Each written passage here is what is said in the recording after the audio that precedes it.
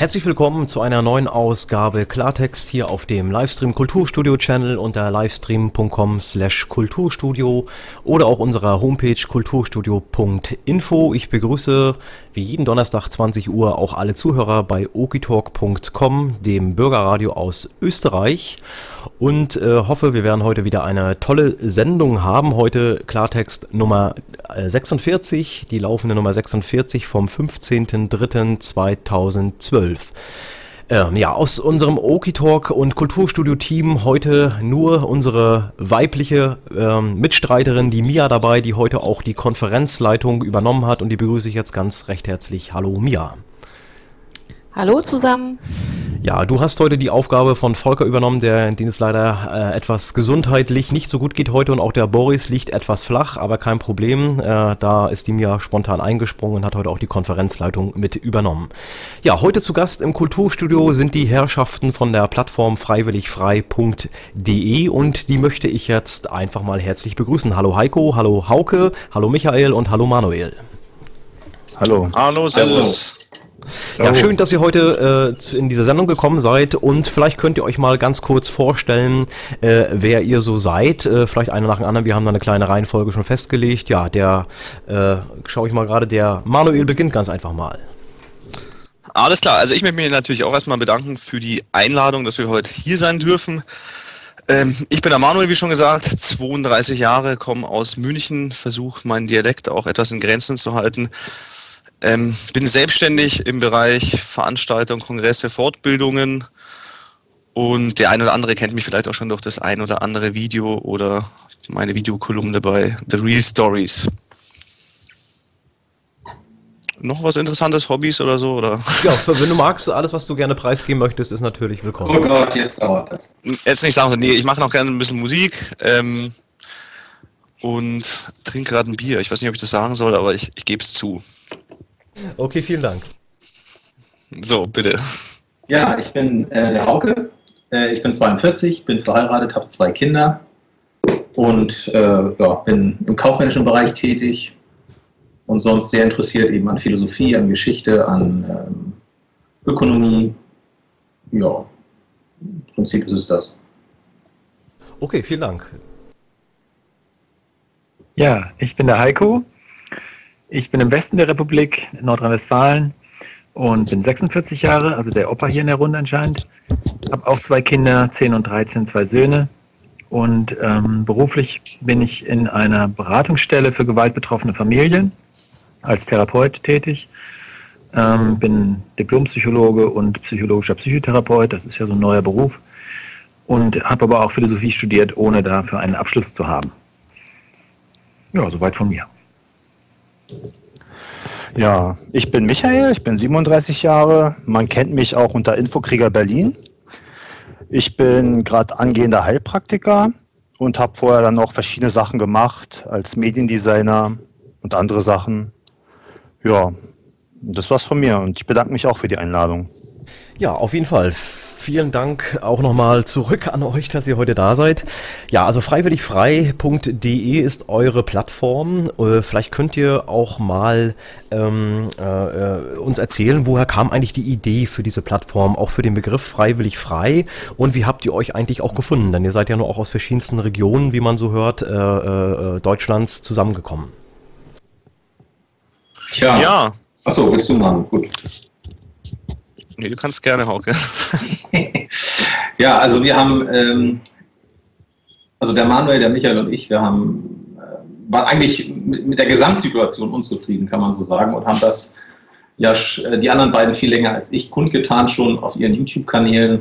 Und äh, über diese YouTuberei haben wir uns eigentlich kennengelernt. Und ich glaube, ich habe irgendwann mal irgendwo einen Kommentar gepostet bei denen, äh, bei, bei, bei Michael, glaube ich, bei dir. Und dann äh, haben, sind wir in Kontakt gekommen und dann haben wir uns entschlossen, dass wir äh, mal ein Projekt zusammen starten wollen, weil wir so auf einer Wellenlänge waren und äh, haben dann innerhalb von ein bis zwei Wochen äh, das also eigentlich alles fertig gehabt, sind auch schon online dann gewesen mit Freiwillig Frei.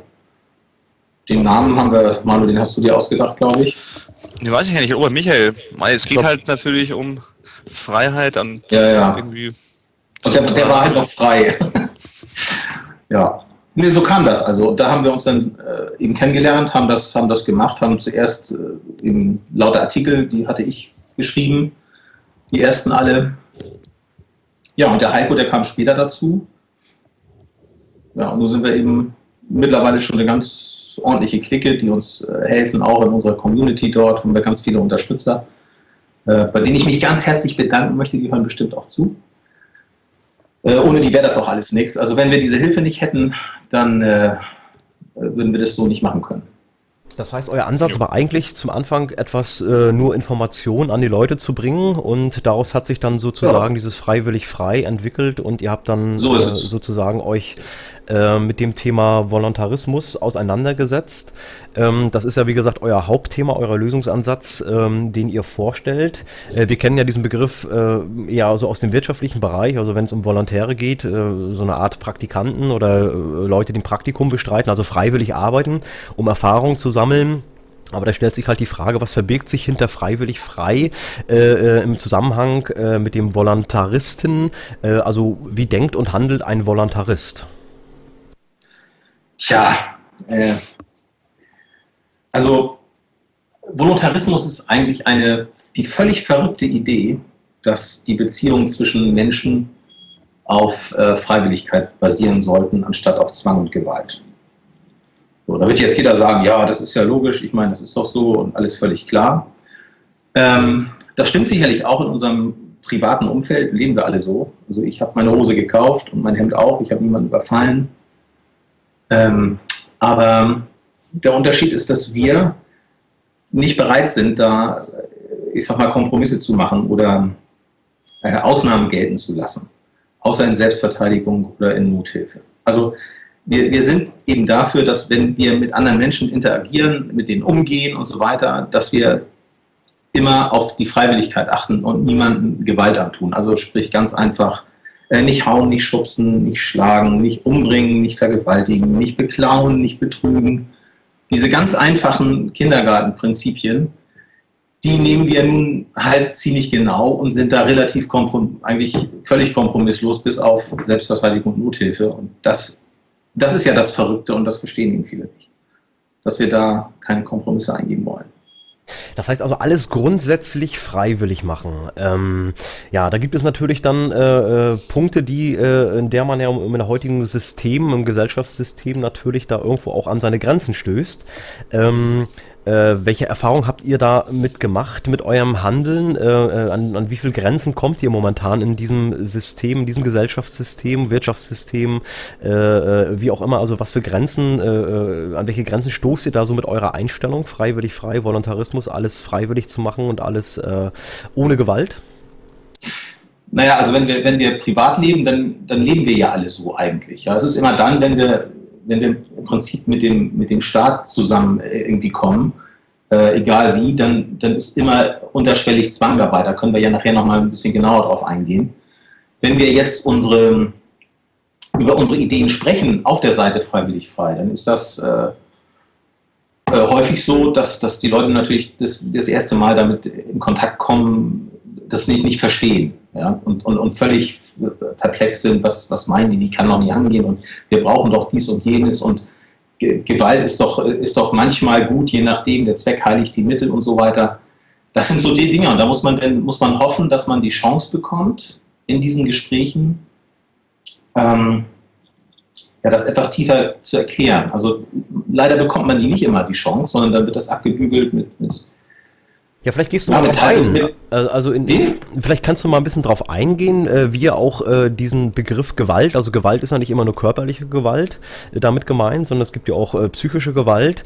Ähm, also ihr sagt ja auch, es herrschen in den Familien oder in der Gesellschaft Gewalt. Vielleicht könnt ihr da mal, kannst du da gleich mal drauf eingehen, wie ihr komplett auch diese Gewalt definiert und wie diese, diese Gewalt auch eigentlich sichtbar ist in dieser Gesellschaft für euch. Ja, also im Prinzip ist es so, dass wir ja eine Selbstbestimmung möchten, dass die Menschen selber über sich bestimmen, dass sie ähm, über ihren eigenen Körper bestimmen, dass sie über ihr, ihre eigenen äh, äh, Dinge bestimmen, die sie geschaffen haben, wie wenn, wenn, ich, wenn, ich, wenn arbeite und ich äh, verdiene etwas, dann ist es meins, mein Körper gehört auch mir. Und all die Eingriffe die akuten Eingriffe in diese Selbstbestimmung, das heißt, jemand äh, tötet mich, jemand stiehlt mir was, jemand äh, wirkt so auf meine Selbstbestimmung ein, dass ich sie nicht mehr ausüben kann. Das ist für uns Gewalt. Dort zählt auch Betrug zu und solche Dinge. Und da du die Familien ansprichst, äh, die, ist es ja nun so, dass die Beziehung zwischen Eltern und Kindern eben nicht freiwillig ist. Die, die Kinder werden äh, bitten ja nicht darum, in, in, unsere Familie geboren zu werden, sondern sie kommen einfach, das entscheiden ja die Eltern. Und insofern äh, denken wir eben, dass man Kindern gegenüber eine besondere Verantwortung hat, weil die sich das eben nicht ausgesucht haben. Und dass man auch Kindern gegenüber eben äh, nicht mit Gewalt äh, äh, reagieren soll, sie, was weiß ich. Kannst du da so konkrete Beispiele Hintern. mal anführen? Ja, na klar, klappst auf den Hintern oder, ja. oder auch ähm, sie, sie zwingen zu Dingen, die, die äh, ich sag mal, ohne, ohne das rational zu begründen, natürlich haben Kinder nicht die gleichen Fähigkeiten, weil die, sie nicht äh, gleich entwickelt sind wie Erwachsene. Das heißt, man muss Kindern Grenzen setzen. Das ist völlig logisch. Aber es ist halt die Frage, wie man das macht. Wenn ich meinen Sohn äh, ständig anraunst, er soll sein Zimmer aufräumen, weil ich das so will, dann ist das äh, für uns keine, keine, äh, kein Umgang, der seine Selbstbestimmung fördert. das sind so die Dinge. Und das, für uns ist es eben so sichtbar, dass die Gesellschaft, in der wir im Moment leben, dass das eher ein Spiegelbild der Kindheit ist, in der wir aufwachsen. Wenn wir den Kindern immer mit, mit Gewalt und mit Zwängen und so weiter ähm, gegenübertreten und ihnen, ihnen, zeigen, meinetwegen, auch wenn, wenn Eltern sich streiten und sich anbrüllen und der Vater haut der Mutter eine runter oder wie auch immer, dass, wenn, wenn, wenn Kinder das erleben, dann erfahren sie ja gleichzeitig, dass Gewalt ein akzeptables Mittel ist, um Dinge zu lösen.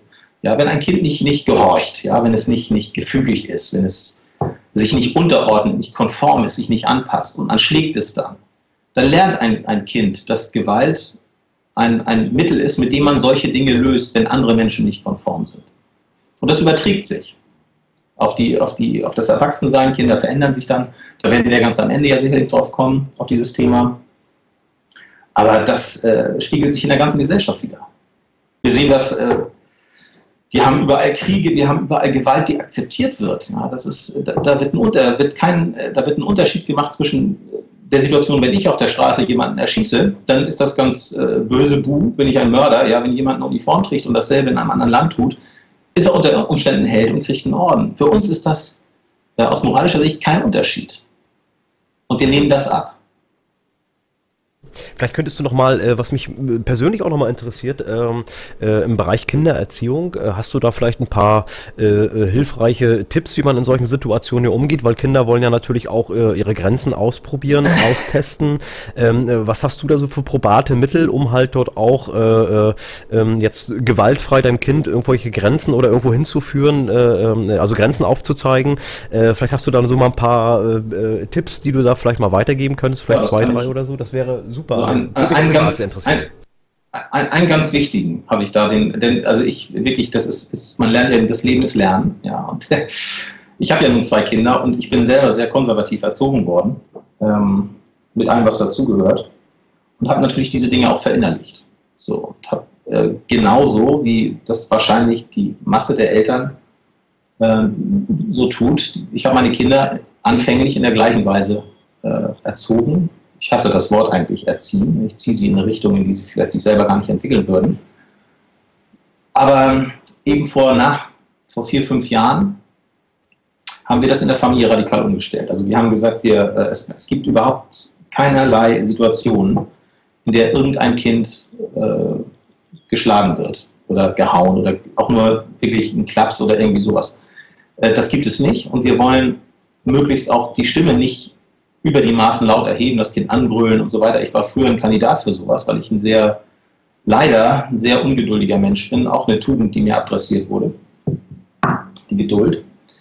Äh, und ich habe also die Erfahrung gemacht mit diesem, mit diesem Hintergrund, dass wenn mein Sohn beispielsweise äh, mal einen Ausraster hatte, hat er Gott sei Dank jetzt seit drei Jahren nicht mehr gehabt, dass es keine Chance gibt für mich, ähm, auch mit dem Wissen, was ich jetzt habe, ich habe ja nun viele Bücher über diese Dinge gelesen, auch mit dem Wissen, das ich jetzt habe, in dem Moment, in dem akuten Moment, wo er äh, extrem in Wut gerät, mit ihm da sinnvoll äh, irgendwas zu diskutieren, das macht überhaupt gar keinen Sinn. Insofern Früher bin ich gegen angegangen und habe hab, äh, dann mit ihm versucht, äh, das irgendwie, und das ist immer ausgeartet dann. Und äh, mittlerweile ist das so, ich versuche Verständnis für seine Wut aufzubringen. Ich versuche ähm, ihn erstmal sich abkühlen zu lassen und später ein Gespräch zu suchen. Und das ist, äh, hilft mir unheimlich. Also das ist speziell bei uns so, mir, mir hilft das. Wenn ich ihm erstmal die, die, auch die Möglichkeit gebe, das wieder abzubauen, anstatt immer gleich gegen anzugehen und mich durchsetzen zu wollen, das hat mir nicht viel geholfen in der Vergangenheit. Das heißt jetzt auch äh, konkret, äh, äh, gehst du dann aus dem Raum oder? Ähm ja, ich gehe da, geh dann auch manchmal aus dem Raum und sage, Lugi, äh, tut mir leid, ich kann, wir können das im Moment nicht klären. Beruhig dich mal und wir, wir, wir sprechen nachher gleich. Und das macht er auch. Und dann, dann wird das auch ganz ruhig und, und so und er, er, diskutiert und redet mit mir. Das ist, äh, ist wirklich, das, also uns hilft das. Gott, das ist natürlich, bin dann, ich bin ja bin nicht perfekt in dem Maße. Also ich mache natürlich mache ich Fehler, jeder macht Fehler, aber ich versuche und arbeite an mir, dass ich äh, die Dinge, die ich ähm, ja eigentlich mit der Muttermilch ja aufgenuggelt habe, ich will jetzt nicht sagen, dass ich früher verprügelt wurde, überhaupt nicht, aber es ist doch schon eine sehr, eine sehr ähm, konservative Erziehung gewesen, die äh, ja, mich eben zu dem hat werden lassen, was ich bin. Das ist einerseits gut, ich freue mich ja, dass ich so bin, andererseits habe ich aber auch negative Eigenschaften, die ich versuchen will zu erkennen. Und ich möchte versuchen auch zu ergründen, wann ich wütend werde wann der Punkt in mir kommt und, und welche Situationen äh, ein, ein Fehlverhalten in mir auslösen, dass ich diese meide. Ja, manchmal, manchmal wenn, ich, wenn ich wütend bin oder ich werde werd ärgerlich, denke ich einfach mit dem Hund. Ja, und wenn ich dann mit dem Rad wieder reinkomme, dann ist es wieder gut, dass ich abgeholt und dann diskutiere ich Sachen oder wir besprechen Dinge. Ist ja nun nicht alle Nase lang, dass das vorkommt. Wir haben ja, also mittlerweile finden wir da eine sehr äh, kommunikative Beziehung in der Familie alle miteinander.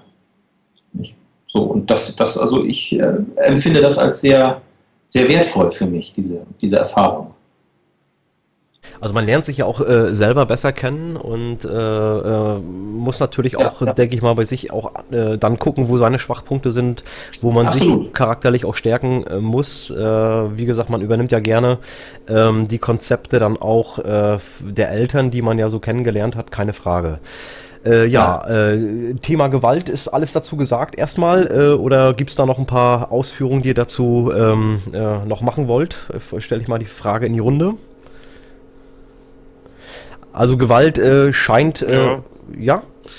Also vielleicht will auch Heike noch sagen, ich würde vielleicht noch ganz kurz zu diesem Erziehungsthema was sagen. Ich habe ja selber noch keine Kinder, aber ich hatte das Glück, dass ich wahrscheinlich viele Dinge, die Hauke jetzt halt auch versucht bei seinen Kindern zu erfahren, selber halt äh, in meiner ähm, Erziehung äh, erfahren habe, nachdem ich halt selber eigentlich kaum Grenzen hatte, aber meine Mutter mir halt vollstes Vertrauen entgegengebracht hat, wirklich bedingungslos. Das heißt auch, ähm, es gab nicht so dieses Nachkontrollieren oder diese Dinge, die Kinder natürlich merken, dass die Mutter doch mal irgendwie schaut. Also ich habe wirklich ein bedingungsloses Vertrauen erfahren, ähm, natürlich auch die Liebe zu meiner Mutter.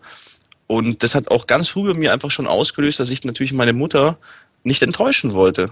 Und dann brauche ich keine wirklichen Regeln, wenn sie mir einfach von sich aus sagt, so du, hey, ähm, wenn du das so und so machst, so äh, würde mich das auf jeden Fall freuen und ich vertraue dir da, dann habe ich einfach keine Scheiße gebaut. Ich war schlecht in der Schule am Anfang. Meine Mutter hat mir schon immer gesagt, so du lernst nicht für mich, du lernst für die Schule.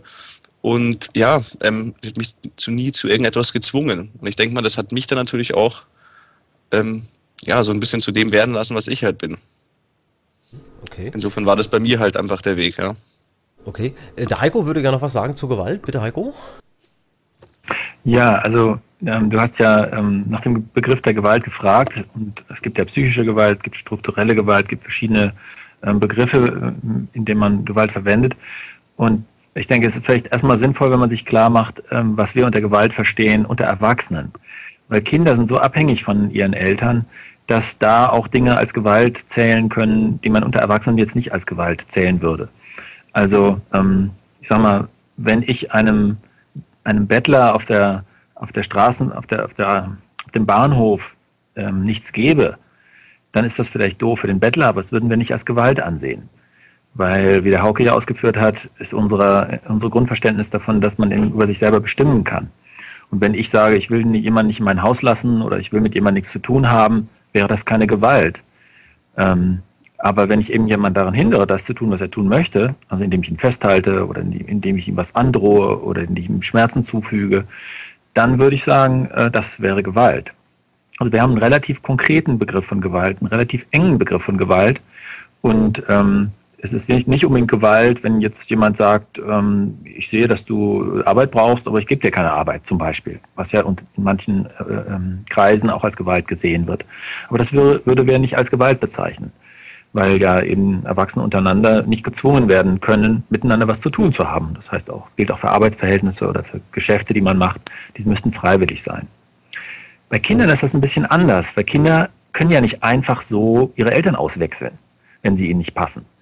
Und deswegen ist es da zum Beispiel, wenn ein Elternteil hm, einem Kind ähm, die Zuwendung verweigert und er sagt, mit dir rede ich nicht, du bist so blöd, ich mag dich nicht, du hast dich so unmöglich benommen, ich rede nicht mit dir, dann würde ich schon sagen, ist das Gewalt für das Kind. Das Kind kann nicht einfach sich zu jemandem anders anderen wenden, wie das ein Erwachsener könnte, und sagt, gut, der will mit, mit, mir nichts zu tun haben, dann gehe ich halt zu jemand anderem, befreunde ich mich mit jemand anderem. Das kann das Kind nicht, weil es abhängig ist von dem Erwachsenen, weil es an ihn gebunden ist, weil es vielleicht ihn auch liebt und bewundert. Und wenn dein Elternteil das dann tut, dann wäre das jetzt nicht physische Gewalt, wie wir das unter Erwachsenen verstehen, aber es wäre für das Kind letztlich auch so, dass es eigentlich nicht anders kann, als sich, als sich dem Erwachsenen zu fügen. Und insofern wäre das bei Kindern dann auch als Gewalt zu bezeichnen, also psychische Gewalt. Ich hoffe, das ist so deutlich geworden. Ja, man kennt ja selber auch äh, sogenannte emotionale Erpressung, äh, äh, Thema Weihnachten. Ja, äh, bei Kindern wendet man ja auch oft an, hat sich ja über Jahrhunderte oder Jahrzehnte äh, bewährt. Äh, dann bekommst du das vom Weihnachtsmann nicht oder du bekommst die Route. Also das sind, würdest du auch so mit als Gewalt einstufen, diese emotionalen Erpressungen sozusagen. Genau, die Erpressung in der, in der Erpressung drückst du ja aus, dass das Kind eigentlich also ich meine, man, Eltern sind natürlich nicht verpflichtet, ihren Kindern was zu Weihnachten zu schenken. Also das ist ja ein Brauch, den man in der Familie einführt. Aber wenn man sozusagen extra, um das Kind unter Druck zu setzen, äh, und Erpressung drückt ja aus, dass man das Kind in der Hand hat, dann würde ich schon sagen, das wäre Gewalt. Das ist einfach eine, eine Gemeinheit von den Eltern äh, oder eben einfach eine, eine, kaltblütige Art, ihren Willen durchzusetzen, weil das Kind letztlich nicht anders kann, als sagen, ähm, okay, ich, ich mache das dann so, wie du das willst.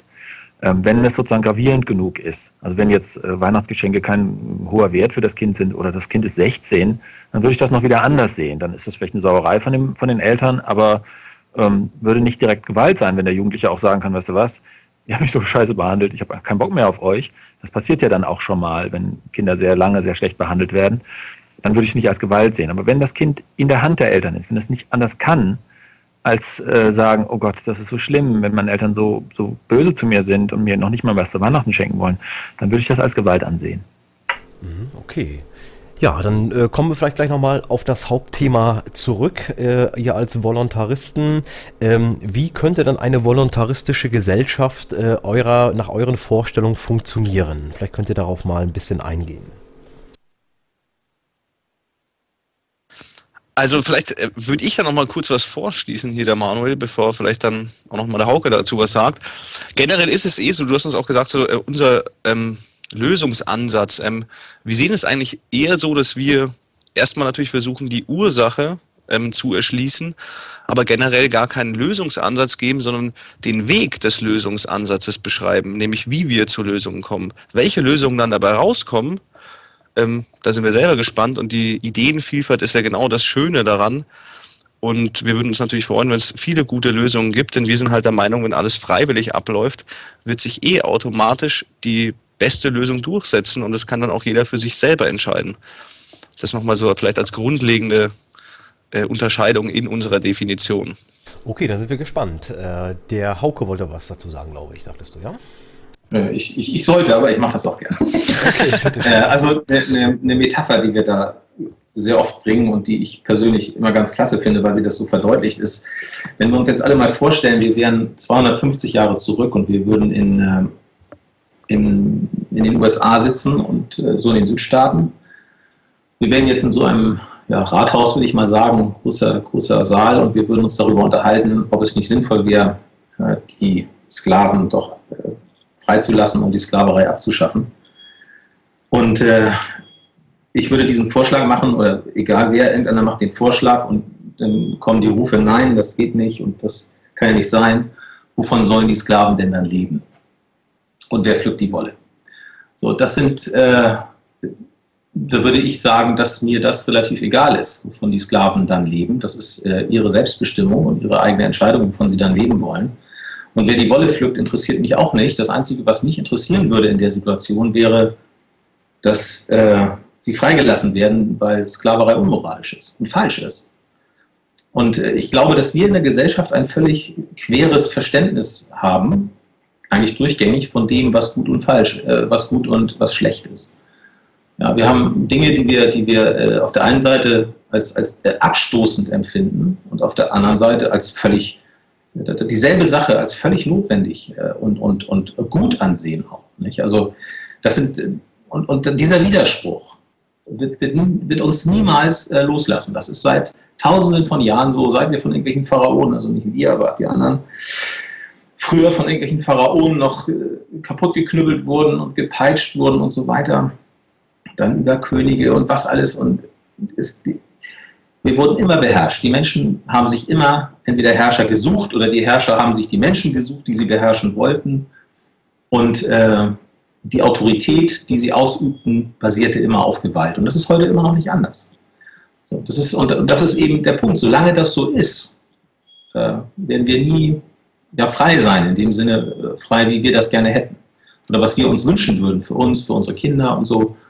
Das wird nicht passieren, solange wir dieses, diesen Unterschied nicht hinkriegen, äh, zu erkennen, was ist eigentlich, welche, was ist eigentlich gut, welche Handlungen sollte man ausführen und welche sollte man äh, nicht ausüben. So, und, und, dass man das nicht immer verwechselt und sich dann nicht von irgendwelchen, ich sag mal, äh, Gefälligkeitsschwaflern, die dann im Fernsehen auftreten und sagen, ja, äh, wir müssen dies machen und wir müssen hier, wir müssen Subventionen, was weiß ich, hier machen, Baumwollsubvention USA ist ein gutes Beispiel. Da wird den Menschen in den Vereinigten Staaten Geld gestohlen über Besteuerung. Das kriegen dann irgendwelche Baumwollfabrikanten in den USA, weil die sonst zu unproduktiv sind, um das runter zu subventionieren. Und in Burkina Faso sterben die Menschen deswegen, weil ihre eigene Baumwolle, die viel besser ist, ähm, weil sie die nicht vermarkten können, weil sie zu teuer ist, obwohl sie sie am billigsten produzieren. So, das sind alles Dinge, nicht? Da ist äh, die Basis und, und die, der Ursprung dieser, dieser Baumwollgeschichte ist die Möglichkeit, den Menschen in Amerika Geld zu stehlen, um es der Baumwollindustrie zu geben. Das ist, wenn das weg ist, dann kriegt die Baumwollindustrie keine Subvention mehr.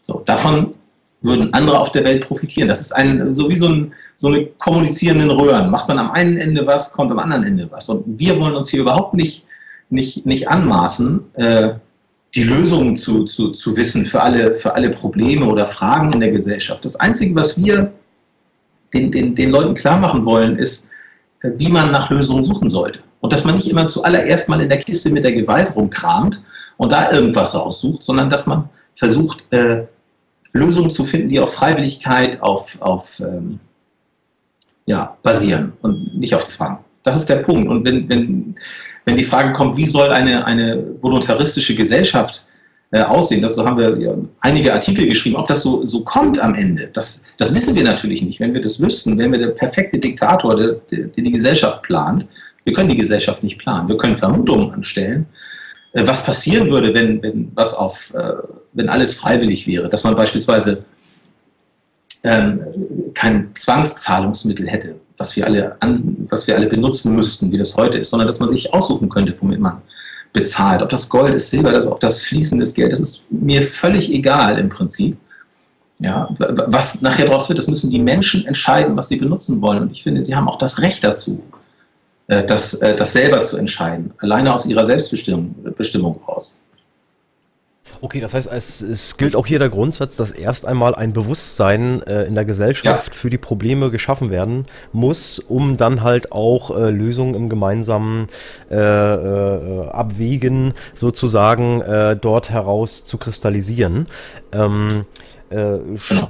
Sprich, ähm, äh, ihr seid da also, habt da ein paar äh, Denkbeispiele sozusagen auch auf eurer Seite äh, dargestellt und äh, wie gesagt, ein großer Punkt ist natürlich auch bei dieser äh, Geschichte, dass dann sozusagen auch der Staat als solches wegfallen müsste, der ja letztendlich ja. Steuern einzieht und so weiter. natürlich kommen dann aber auch die Fragen auf, ähm, ja, wie soll das Ganze dann letztendlich in der Praxis funktionieren? Also wie kann man dann letztendlich natürlich auch äh, die Gesellschaft ähm, auf einem gewissen Level halten. Ähm, das spricht zum Beispiel, ähm, ja, so wie äh, gibt es dort äh, gar keine Rahmenbedingungen, die ihr euch da vorstellen könnt? Doch, äh, doch, doch, oder oder ähm, äh, ist das halt eher so eine, so eine Art Anarchie, die dort herrscht?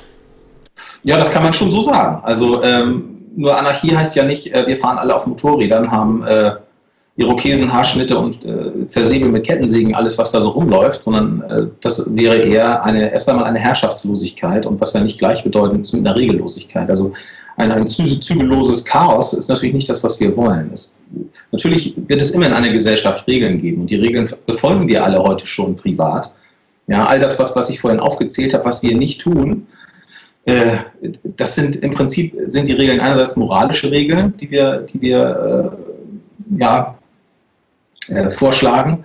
Äh, nicht schubsen, nicht hauen, nicht töten, nicht vergewaltigen und so weiter und so weiter. Und eben auch, äh, dass Vereinbarungen, die man macht, Verträge, die man schließt, auch eingehalten werden. Also wenn ich, wenn ich mit dir äh, eine Vereinbarung mache, du, ich will dein iPod kaufen oder und du willst von mir Geld haben dafür, was weiß ich, 100 Euro oder so, ähm, dass ich auch bezahle, wenn du, wenn du mir den gegeben hast und ich mit dem Geld nicht rüberkomme, dann ähm, habe ich einen Vertragsbruch begangen und das ist, das ist nicht rechtens, unserer Meinung nach. Also Verträge muss man auch einhalten und insofern basiert die, so, eine, so eine Gesellschaft darauf, dass, dass die Menschen eine Nachfrage nach Sicherheit haben, nach äh, einer gewissen Stabilität haben, nach, ähm, die Menschen haben Nachfrage nach vielen Dingen. Nehmen wir mal die Sicherheit beispielsweise.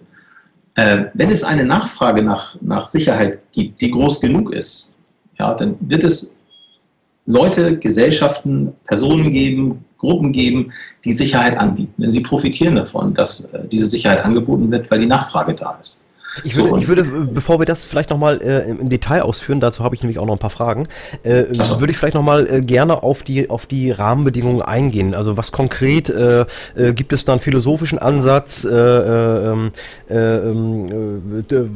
das was, wie heißt das noch, äh, so gut, jetzt fällt es mir gerade nicht ein, ähm, was man nicht will, was man dir tut, äh, das fügt auch keinen anderen zu, oder gibt es da sowas wie zehn Gebote, die ihr als Rahmenbedingungen seht oder dort ausgearbeitet haben, also so konkrete Geschichten, Geschichten, die ihr mal benennen könnt?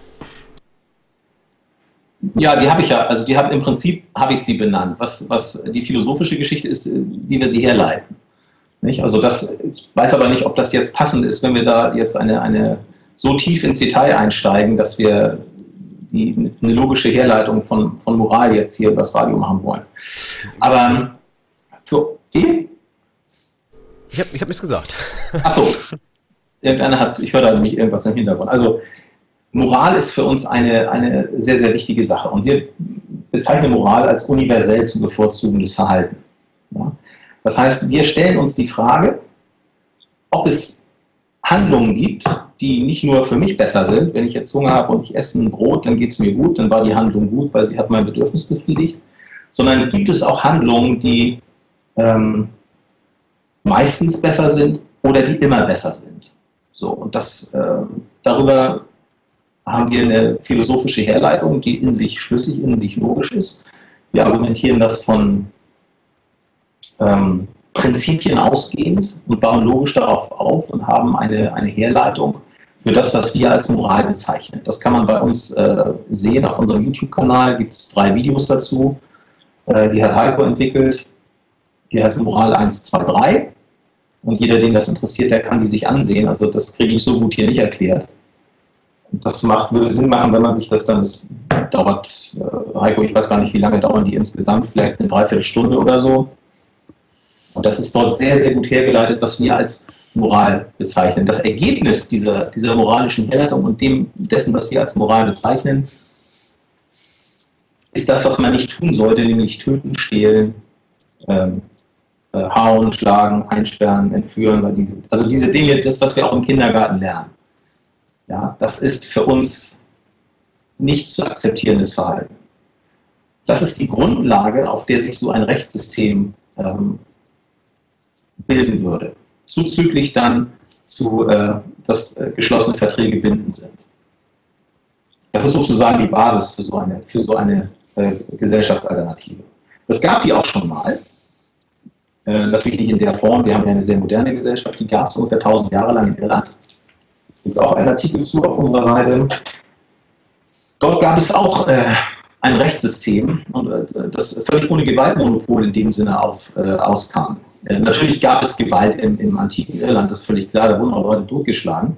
Aber die Rechtsprechung war privat organisiert. Das ist also hochinteressant. Es wurden zwar so Clankönige gewählt, aber diese Clankönige, die hatten gar keine, die hatten gar keine ähm, Rechtsgewalt in dem Sinne, sondern selbst die unterwarfen sich privaten äh, Schlichtern. So, und so ein ähnliches Konzept schlagen wir auch vor.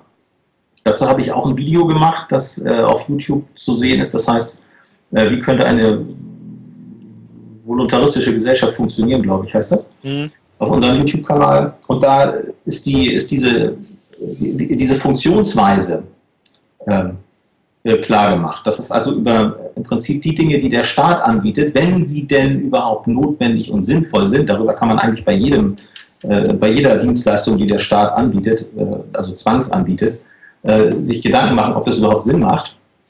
Jede, jede Dienstleistung, für die es eine Nachfrage gibt, wird auch angeboten werden. Von privater Hand halt. Ja? So, bevor der Staat sich um die Straßen gekümmert hat, waren, die Straßen sind, hat ja nicht der Staat erfunden. Der, der Staat hat sie irgendwann an sich gerissen, weil er Panzer rüberjagen wollte, ich sage mal hier in Deutschland. So, und das war sicherlich äh, auch in, in, in, anderen Ländern so. Aber es gibt in Schweden beispielsweise, habe ich gelesen, äh, einen ganz, ganz großen Anteil privater Straßen. Was spricht gegen private Straßen? Warum gibt es Schulzwang? Ja. In anderen Ländern gibt es das nicht. In Deutschland gibt es Schulzwang. Wir haben hier ein, ein, äh, eine, eine Schulpflicht. Wenn die Eltern ihre Kinder nicht zur Schule schicken, dann kommen die in den Knast. Ist alles schon vorgekommen. Das gibt es Eltern, die haben Asyl beantragt in den USA, weil sie dieses Schulsystem nicht wollen, sondern ein Homeschooling machen wollen. Warum darf das nicht? Warum darf das nicht sein? Warum können die Eltern nicht selber entscheiden, ähm, was sie für die Bildung ihrer Kinder tun? Ich habe ja nichts gegen Schulen. Ich habe nur was dagegen, dass man diese Schulen nehmen muss, die der Staat, den Lehrplan akzeptieren muss, den der, den der Staat vorgibt. Und wenn wir das nicht tun, kommen wir ins Gefängnis. Wenn wir uns dagegen wehren, dass, wir, äh, äh dass man bei uns zu Hause einbricht und uns äh, fesselt und mitnimmt und ins Knast steckt, wenn wir uns wehren, dann werden wir im Notfall erschossen. Das muss man mal, wenn man das mal so auf den Punkt bringt. Und das ist bei jeder, bei jeder, äh, bei jedem Gesetz, jedes Gesetz, wenn ich dagegen verstoße, mich wehre gegen die, ich, da kommt ein Brief und ich öffne den nicht, ich schmeiße den weg, irgendwann klopft es, ich lasse den nicht rein, dann klopft es wieder, irgendwann bringt er ein paar kostümierte Leute mit und die haben so merkwürdige Dinge am Gürtel. So, und wenn ich mich wehre, wenn ich mich bis zum Ende wehre und ich wäre auch bewaffnet, was ich gar nicht, dass ich das will, das würde nur wegen einem simplen Gesetzesverstoß, am Ende ist immer eine Waffe im Raum. Am Ende ist immer eine Waffe im Raum, wenn wir mit dem Staat zu tun haben. Hinter jedem Gesetz, und sei es noch so, so gut gemeint, ja, sei es noch so gut gemeint, steht am Ende eine Waffe. So, und wir fragen uns einfach, wir fragen uns halt, wenn, wir uns, wenn, wenn ich mir überlege, ich gehe in Hamburg durch die Fußgängerzone oder in Berlin oder sonst wo und da sitzen Obdachlose, ja, und ich gucke mir das an und ich sehe die da hocken und die haben ihren, ihren Hut da und, und ich sage, Mensch, da, da, da werfen ja viel zu wenig Leute was rein. So, und jetzt, äh, was, wenn ich jetzt, wenn ich jetzt irgendeinen mit Gucci-Klamotten, ähm, der da lang läuft, eine Pistole am Kopf halte, sagt, gib mir 10 Euro, sonst erschieße ich dich oder ich hau dich oder was auch immer. Ihm die 10 Euro weg und werf sie in den Hut von so einem Obdachlosen. Ist das dann eine gute Tat? Ist das eine gute Tat? Ja, so, und wenn wir, wenn wir, wenn wir das prinzipiell betrachten, und wir uns schon nicht sicher sind, ob das eine gute Tat ist, wenn ich das tue, mit, mit dem, wenn ich einem also 10 Euro klaue und, oder ihm abnötige und in diesen Hut schmeiße, ist es dann eine gute Tat, wenn die Vereinigten Staaten ein Embargo gegen den Irak verhängen, bei dem 500.000 Kinder sterben? Und wenn dann Madeleine Albright bei 60 Minutes sitzt und auf die Frage, was das wert, antwortet, war eine schwere Entscheidung, aber ich glaube, das war es wert. Ja, okay, der Manuel wollte, glaube ich, nochmal ausführen dazu. Bitte, Manuel. Ähm, ja, ich wollte noch einfach noch ein paar Sachen ergänzen, damit ähm, auch die Zuhörer sich das einfach so ein bisschen genauer vorstellen, was wir, sag ich mal, so für ein Denkgerüst, sag ich mal, zugrunde legen. Also ich habe auch sogar ein paar Sachen aufgeschrieben, muss mich sogar selber loben, sonst würde ich das gar nicht hinbekommen. Ähm, also generell sagen wir halt, dass Lösungen ohne Gewalt immer Lösungen mit Gewalt zu bevorzugen sind. Und das muss man halt einfach dann selber mal durchspielen. Und es gibt halt einfach viele ähm, Momente, sage ich mal, wo der ein oder andere doch eine Lösung mit Gewalt bevorzugt oder für gut heißt, was Hauge eben schon erklärt hat. Und das sehen wir halt einfach anders. Ähm, wenn man das halt weiter, oder generell sagen wir halt, es gibt kein Recht, dass irgendein Mensch über einen anderen Mensch herrschen darf. Egal wo er geboren ist, egal wie groß er ist, wie klein er ist, wie schlau er ist, wie dumm er ist, ähm, woher soll dieses Recht denn kommen über diesen anderen Menschen? Wenn wir sagen, wir sind alle gleich, und das ist ja auch was, was viele so behaupten, dann muss man das konsequent durchdenken. Und nur weil dann jemand ähm, in der Position eines Politikers ist oder eine Uniform trägt oder eine äh, Armeekostüm, so, dann wieso sollte er dieses Recht bekommen? Wenn wir das so akzeptieren, ist es natürlich auch klar, dass ich zum Beispiel keinem von euch das Recht geben kann, über den Hauke zu herrschen, weil ich es ja selber nicht habe. Ähm, insofern fällt für uns halt dann auch die Demokratie flach, weil nur weil die Mehrheit ähm, sagt, es ist gut, den Hauke zu schlagen, finden wir das nicht gut, den Hauke zu schlagen.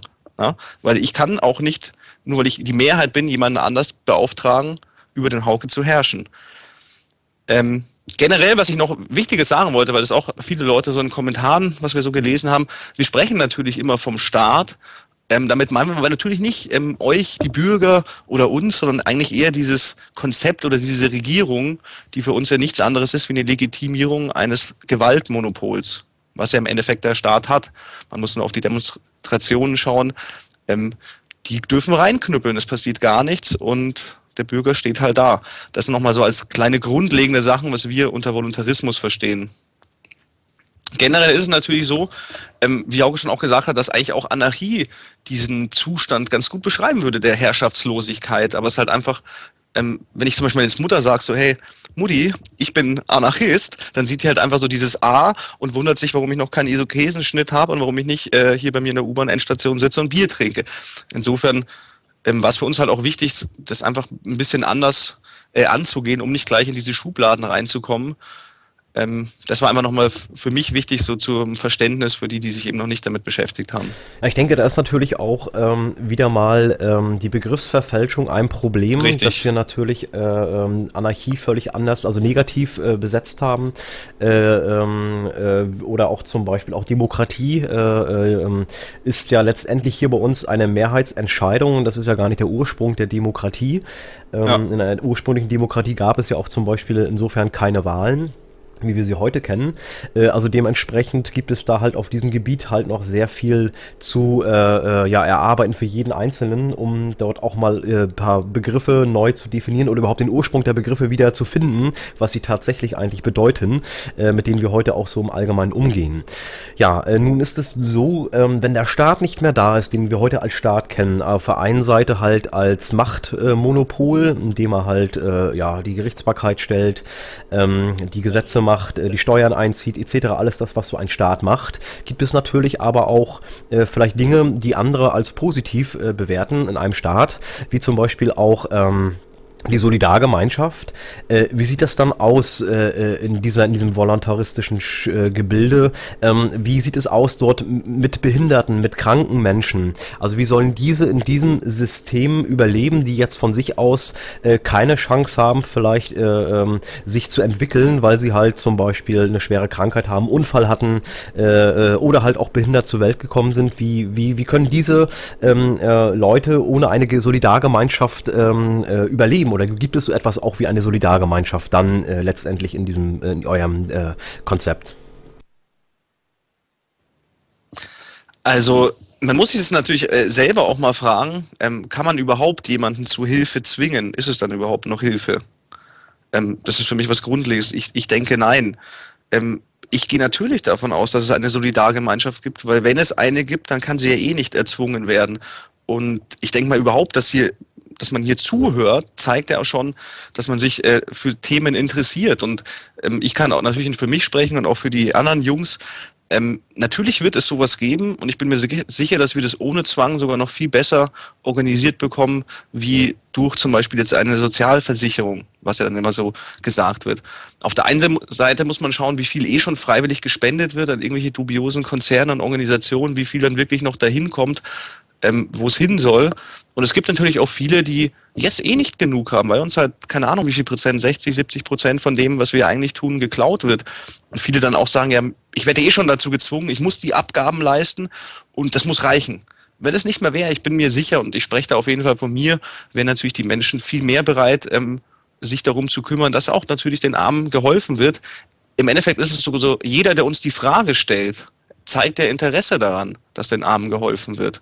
Und dann kann ich die Frage immer nur zurückgeben, würdest du denn freiwillig einem Behinderten helfen, wenn du dann auch die Mittel dazu hättest? Ja, ich würde es auf jeden Fall tun. Äh, äh, nur stellt sich halt die Frage, ähm, wenn ich jetzt in der Situation des behinderten Menschen bin zum Beispiel, äh, wie würde ich das auffassen? Also es wäre wär ja dann eher so eine Art äh, von Almosen zu leben äh, in der Form. Also da wäre es doch äh, auch für, ähm, ja, für die Seele ganz gut, wenn man dort, sag ich mal, wie wir es hier jetzt gerade momentan haben, sag ich mal, eine Möglichkeit hat, äh, ähm, äh, wie jetzt auch im Detail jetzt, das gut will ich jetzt nicht gutheißen, in, in, in gewissen Details jetzt ausführen, aber im Prinzip, dass man äh, an eine Stelle gehen kann, wo einem dann halt ein gewisses Geld aufgrund dieser Situation dann halt zusteht.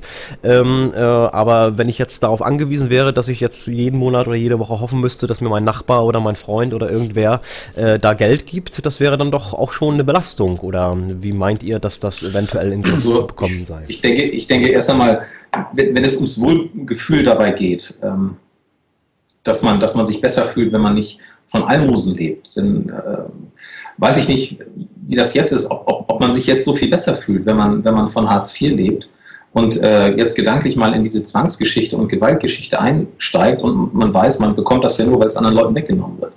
Ich weiß nicht, ob es dann, ob es einem dann besser geht. Und äh, wir meinen ja auch nicht unbedingt damit, dass es ausschließlich darum geht, jetzt Freunde anzuhauen und ob die einem helfen oder so. Äh, natürlich übernehmen, äh, ich sag mal, Familie einen ganz, ganz wichtigen Anteil an, an, an Hilfe für Kranke oder Alte oder Kinder oder wie auch immer. Aber genauso natürlich Freunde und es gibt, gab früher die Kirchen, es gab sogenannten Friendly Societies, da kann jeder mal googeln, was das war. Das waren Zusammenschlüsse von, von hauptsächlich armen Menschen, die sich selber im Prinzip bei sich selbst versichert haben. Und das hat ziemlich gut funktioniert eine ganze Weile. Äh, Und äh, ich habe ja vorhin schon gesagt, dass wenn, wenn, wenn es keinen Staat gäbe, ich muss dazu sagen, wir, wir wollen nicht den Staat von heute auf morgen abschalten. Also nicht, dass hier irgendeiner sagt, die wollen jetzt einen Knopf drücken, ist der Staat weg. Mitnichten. Da gehen wir vielleicht nachher auch noch drauf ein.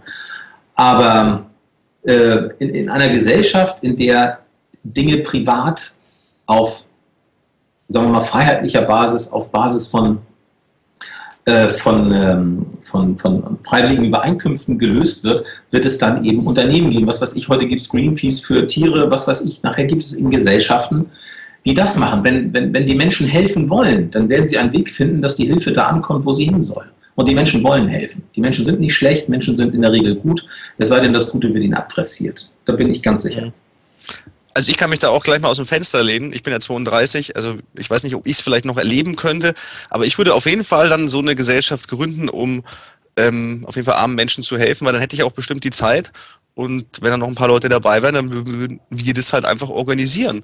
Ähm, ich war jetzt letztens zum Beispiel in, äh, ja auch hier in, bei so einer Tafel mal und habe mir auch mal so Sachen angeschaut. Ich meine, wie viele Menschen denn eh schon ehrenamtlich tätig sind. So, das wäre doch kein Problem, das dann eben auch so zu organisieren, dass da wirkliche Strukturen da sind und man eben nicht, wie du schon schön gesagt hast, dann äh, jede Woche mal schauen muss, wer in der Fußgängerzone in den Hut schmeißt. Also ich bin mir da eigentlich hundertprozentig sicher. Also ich hätte da Interesse. Also ihr vertraut auf, äh, äh, auf die Menschen, dass sich das auch sozusagen ähm, regeln wird äh, von selbst, weil natürlich auch sowas wie Mitgefühl, was ja auch in dieser Gesellschaft oft ähm, äh, ja weniger geworden ist, eine gewisse mhm. Zivilcourage sich dann auch natürlich mit den äh, mit dieser Lebensart natürlich auch wieder weiter positiv ja, entwickeln würde. Absolut.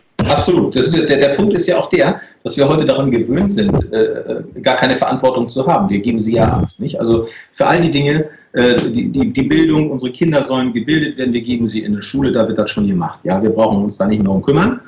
Ähm, wird irgendwo was geklaut, dann rufen wir die Polizei, die kümmert sich. Äh, wir, wir, für alles gibt es irgendwas anderes. Wenn wir arbeitslos werden, greift unsere Arbeitslosenversicherung. Wenn wir, äh, was weiß ich, wir, haben, wir sind daran gewöhnt, nicht selber äh, für viele Dinge, äh, ich sag mal, uns auf andere zu verlassen. Und das ist ja auch vieles ist gesetzlich geregelt. Man weiß ganz genau, man lebt ganz sicher, weil man weiß, dass man, dass man, äh, dass man etwas bekommt und man lebt sehr sicher. Und das, das wollen natürlich Leute. Ich kann das ja völlig verstehen, dass sie das, dass die Leute das gut finden und Angst davor haben, wenn, wenn, wenn das weg wäre.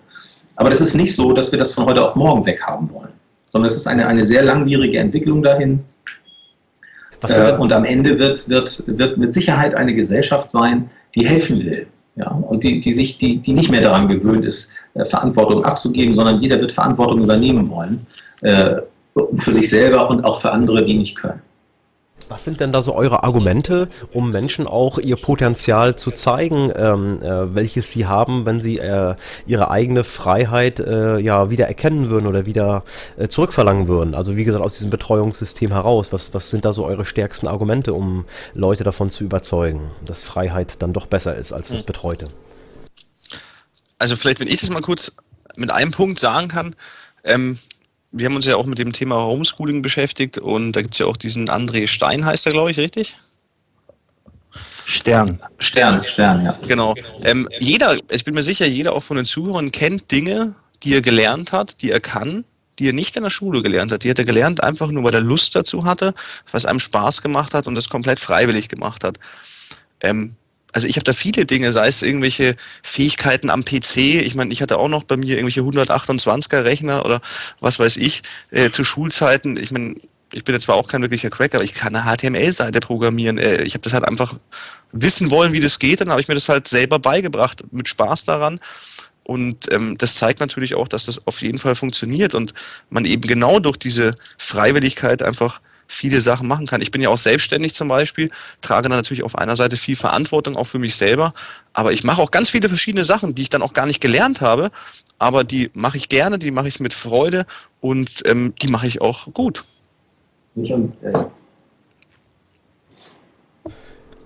Ja, okay. Ähm, will noch jemand was dazu sagen oder war es das dann?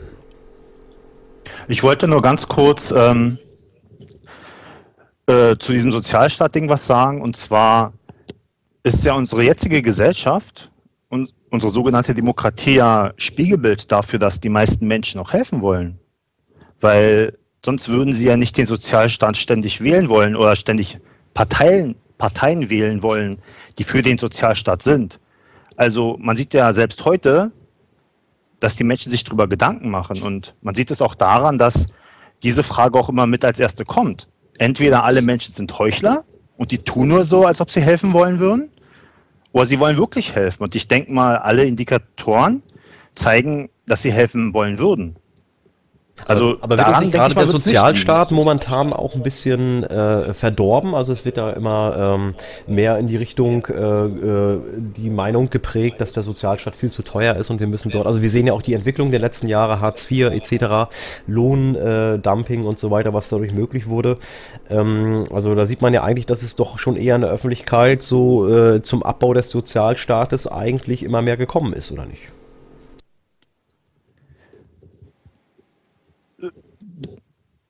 Herr Michael, ja. sag.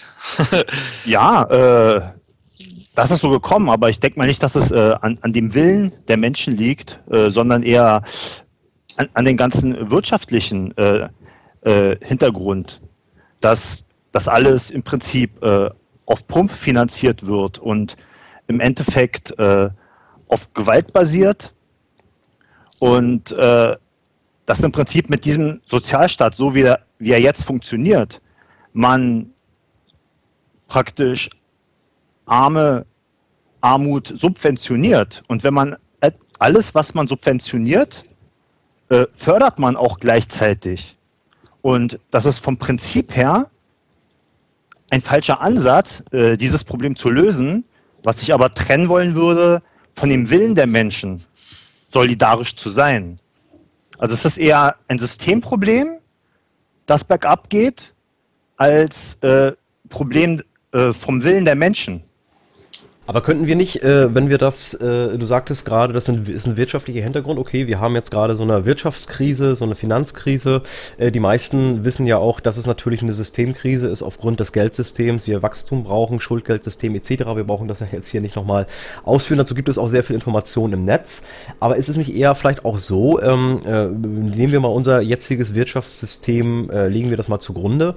Äh, wenn wir aber zum Beispiel so Ausgaben hätten, speziell jetzt, sag ich mal, auf unser Land bezogen, wie EU-Pötte, wie NATO-Pötte, Kriegsausgaben etc., wenn diese ganzen vielen, vielen Milliarden äh, dem, dem Volk in diesem System ähm, äh, zur Verfügung stünden, dann wäre doch eigentlich auch äh, äh gewisse Probleme ähm, auch nicht da, die wir jetzt so haben. Oder wie seht ihr das?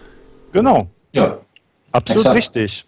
Ja. Und wer, wer treibt es ein? Der Staat treibt es ein. Und die haben, können nicht aussuchen, für was wir unser Geld ausgeben. Und wenn das alles wegfallen würde, da würde erstens äh, der ganze Kriegsapparat wegfallen, weil freiwillig keiner für Krieg spenden würde.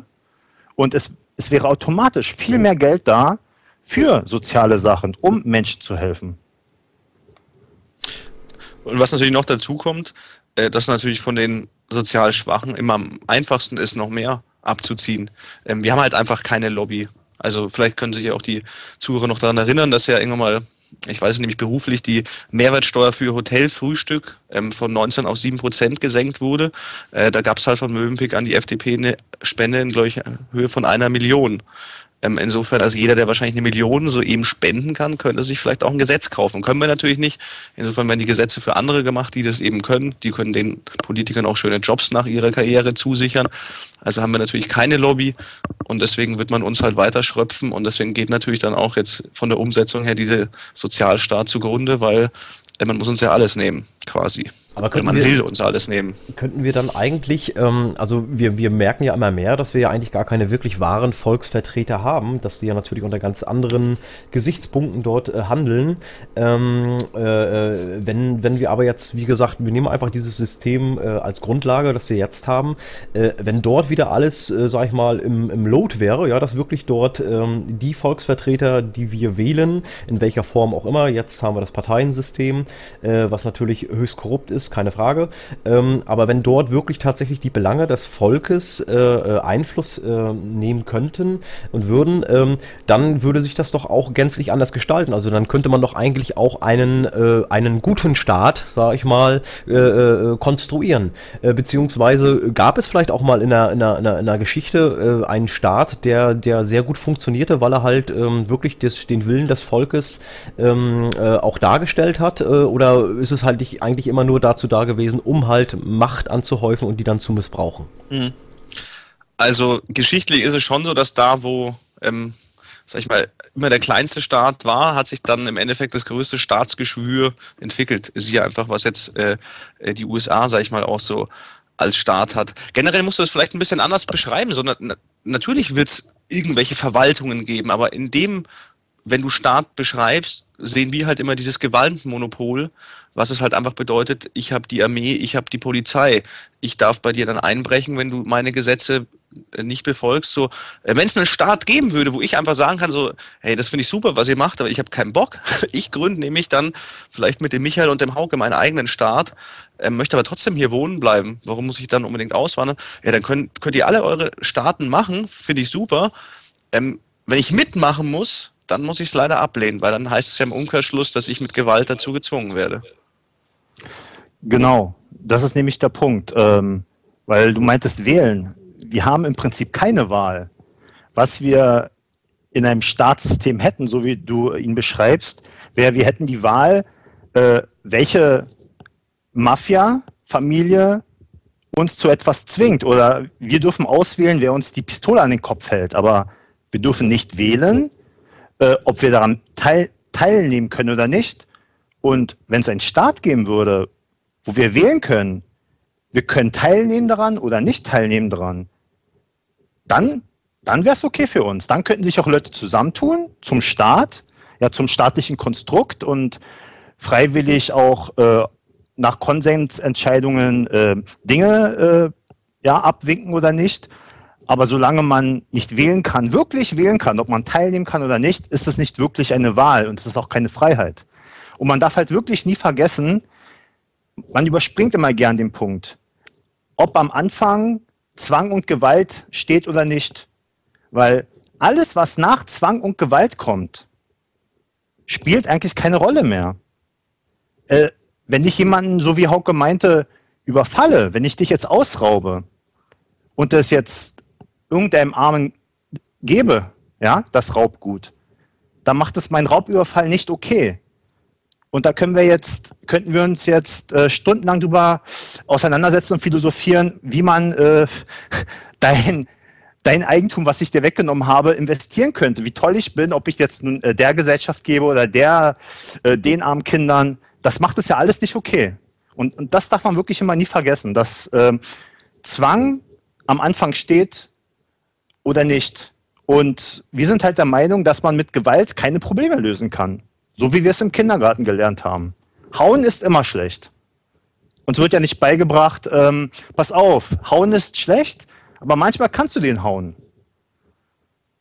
Und irgendwann, wenn wir erwachsen werden, wird uns dann irgendwie, wie auch immer, eindoktriniert oder uns wird gezeigt, pass auf, vergiss, Gewalt ist immer schlecht. Du darfst nicht, äh, es ist immer, immer schlecht, jemanden zu schubsen und zu beklauen und zu entführen. Jetzt ist es auf einmal gut. Aber warum das gut ist, macht überhaupt keinen Sinn. Weil wir das machen, der Staat. Das ist ja genau, sag ich mal, so dieses Problem, dass irgendwann mal das halt einfach passiert, dass dann es doch okay ist, jemanden zu erschießen, zu beklauen, wenn es halt eben diese Regierung für uns macht. Wir selber haben ja immer noch verstanden, dass es schlecht ist, wenn wir dem anderen einen auf die Fresse hauen. Aber wenn irgendwelche Polizisten Menschen niederknüppeln, nur weil sie ihre Meinung kundtun wollen, ähm, dann gibt es halt noch genug, die sagen, klar, wir brauchen diese Regeln, die dann auch durch Gewalt durchgesetzt werden. Ja, nun gibt es ja, ähm, äh, kann man ja natürlich, äh, gehen wir mal vom Idealfall aus, äh, viele Menschen ähm, finden dieses System gut und können sich das auch vorstellen.